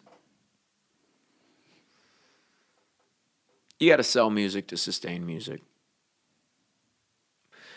But when music becomes a vehicle for selling an idea or a concept or a religion or something like that, even though the earliest, a lot of the earliest music was founded by this, but things become propaganda at a certain point. That's when I get a little Yeah. uneasy. I think music can be music. I mean, music that just expresses all of the things. And this is why music has kind of become my little, my little religion in a way, um, and being able to reenact some of my darkest moments, some of my happiest moments, some of my most uncertain moments, and having these songs and being able to sing them and being able to catch glimpses of that is like looking in a mirror of my mind sometimes. And thankfully, I get to do that to entertain other people. Sometimes I wonder if music can be more than just entertainment for the people that are watching it. And sometimes I think maybe it just all comes down to the fact that I'm entertaining people. But I don't think so because I've had people really show me real human emotion in return. And I've had people actually express genuine, uh, all sorts of emotions. Some people have gotten angry at me. Some people have been very grateful. Some people have cried. Some people have told me that, you know, Yeah, with too far north, I'm just done. If that if that's on uh, on uh, the radio or you're singing it, thanks. it's just still giving me the chills. I've had I've had people come to shows that were soldiers in Iraq telling me about personal things and how my music has helped them. I've had people, you know, uh, tell me really, really dark times that they've been that they've gotten through, um, and I, I believe them. Um, I mean, I'm not saying you, you know what I mean. I mean, if somebody would come and say this to you, there's no reason to second guess Yeah. uh, it- Otherwise it you would wouldn't take come a lot you, of yeah. it would take a lot of guts Yeah. for me to come up to somebody and say that. Um, so, I'd like to think music is more than entertainment. I'd like to think all of this matters. I'd like to think maybe someday, a long time from now, when I'm gone, some kid is gonna pick up a record. You know, mm-hmm. let's let's just be honest. Let's just be honest. I'm not going to be the Rolling Stones. I'm not going to be Bob Dylan. I'm not going to be Nick Drake. Nobody's going to, you know, there there very well might come a time after all this effort, after all this touring, after all these songs, after all these records, that it all kind of fades into obscurity. And maybe one kid will pick up a record. Your records. Maybe. Yeah. and maybe it'll just inspire that kid to write a song, or maybe it'll help that kid get through his day, or maybe it'll help make somebody's day better, and maybe somebody will say, "Wow, I know about this thing, and nobody else knows about it." Maybe people, you know, but there are people that that care now after some time. There's not many of them, but there are people that care about what I do, and I'm really grateful. And um, and I'm just gonna keep. But that worrying about that shit, who cares? I'm just gonna keep doing what I'm doing and enjoying my life and leave leave uh, what comes next to what comes next. It's amazing uh, to end it here. I think. Okay, Yeah. great. Yeah. I Uh, gotta so- stand up and stretch. Yeah, we, we both do, I think. Okay. Uh, but uh, I want to thank you for Thanks, being Sri. the first English guest on Yeah. this podcast. Thanks for being uh, my number one uh, my number one in Europe. You've you've seen me more times than probably my own mother at this point. yeah, ma- Definitely. Yeah, yeah definitely. Yeah. uh, but no, it, it was amazing to talk to you and li- listen to you because you talk most of the times, and it's amazing Sorry to about you. that. No, no, not saying sorry.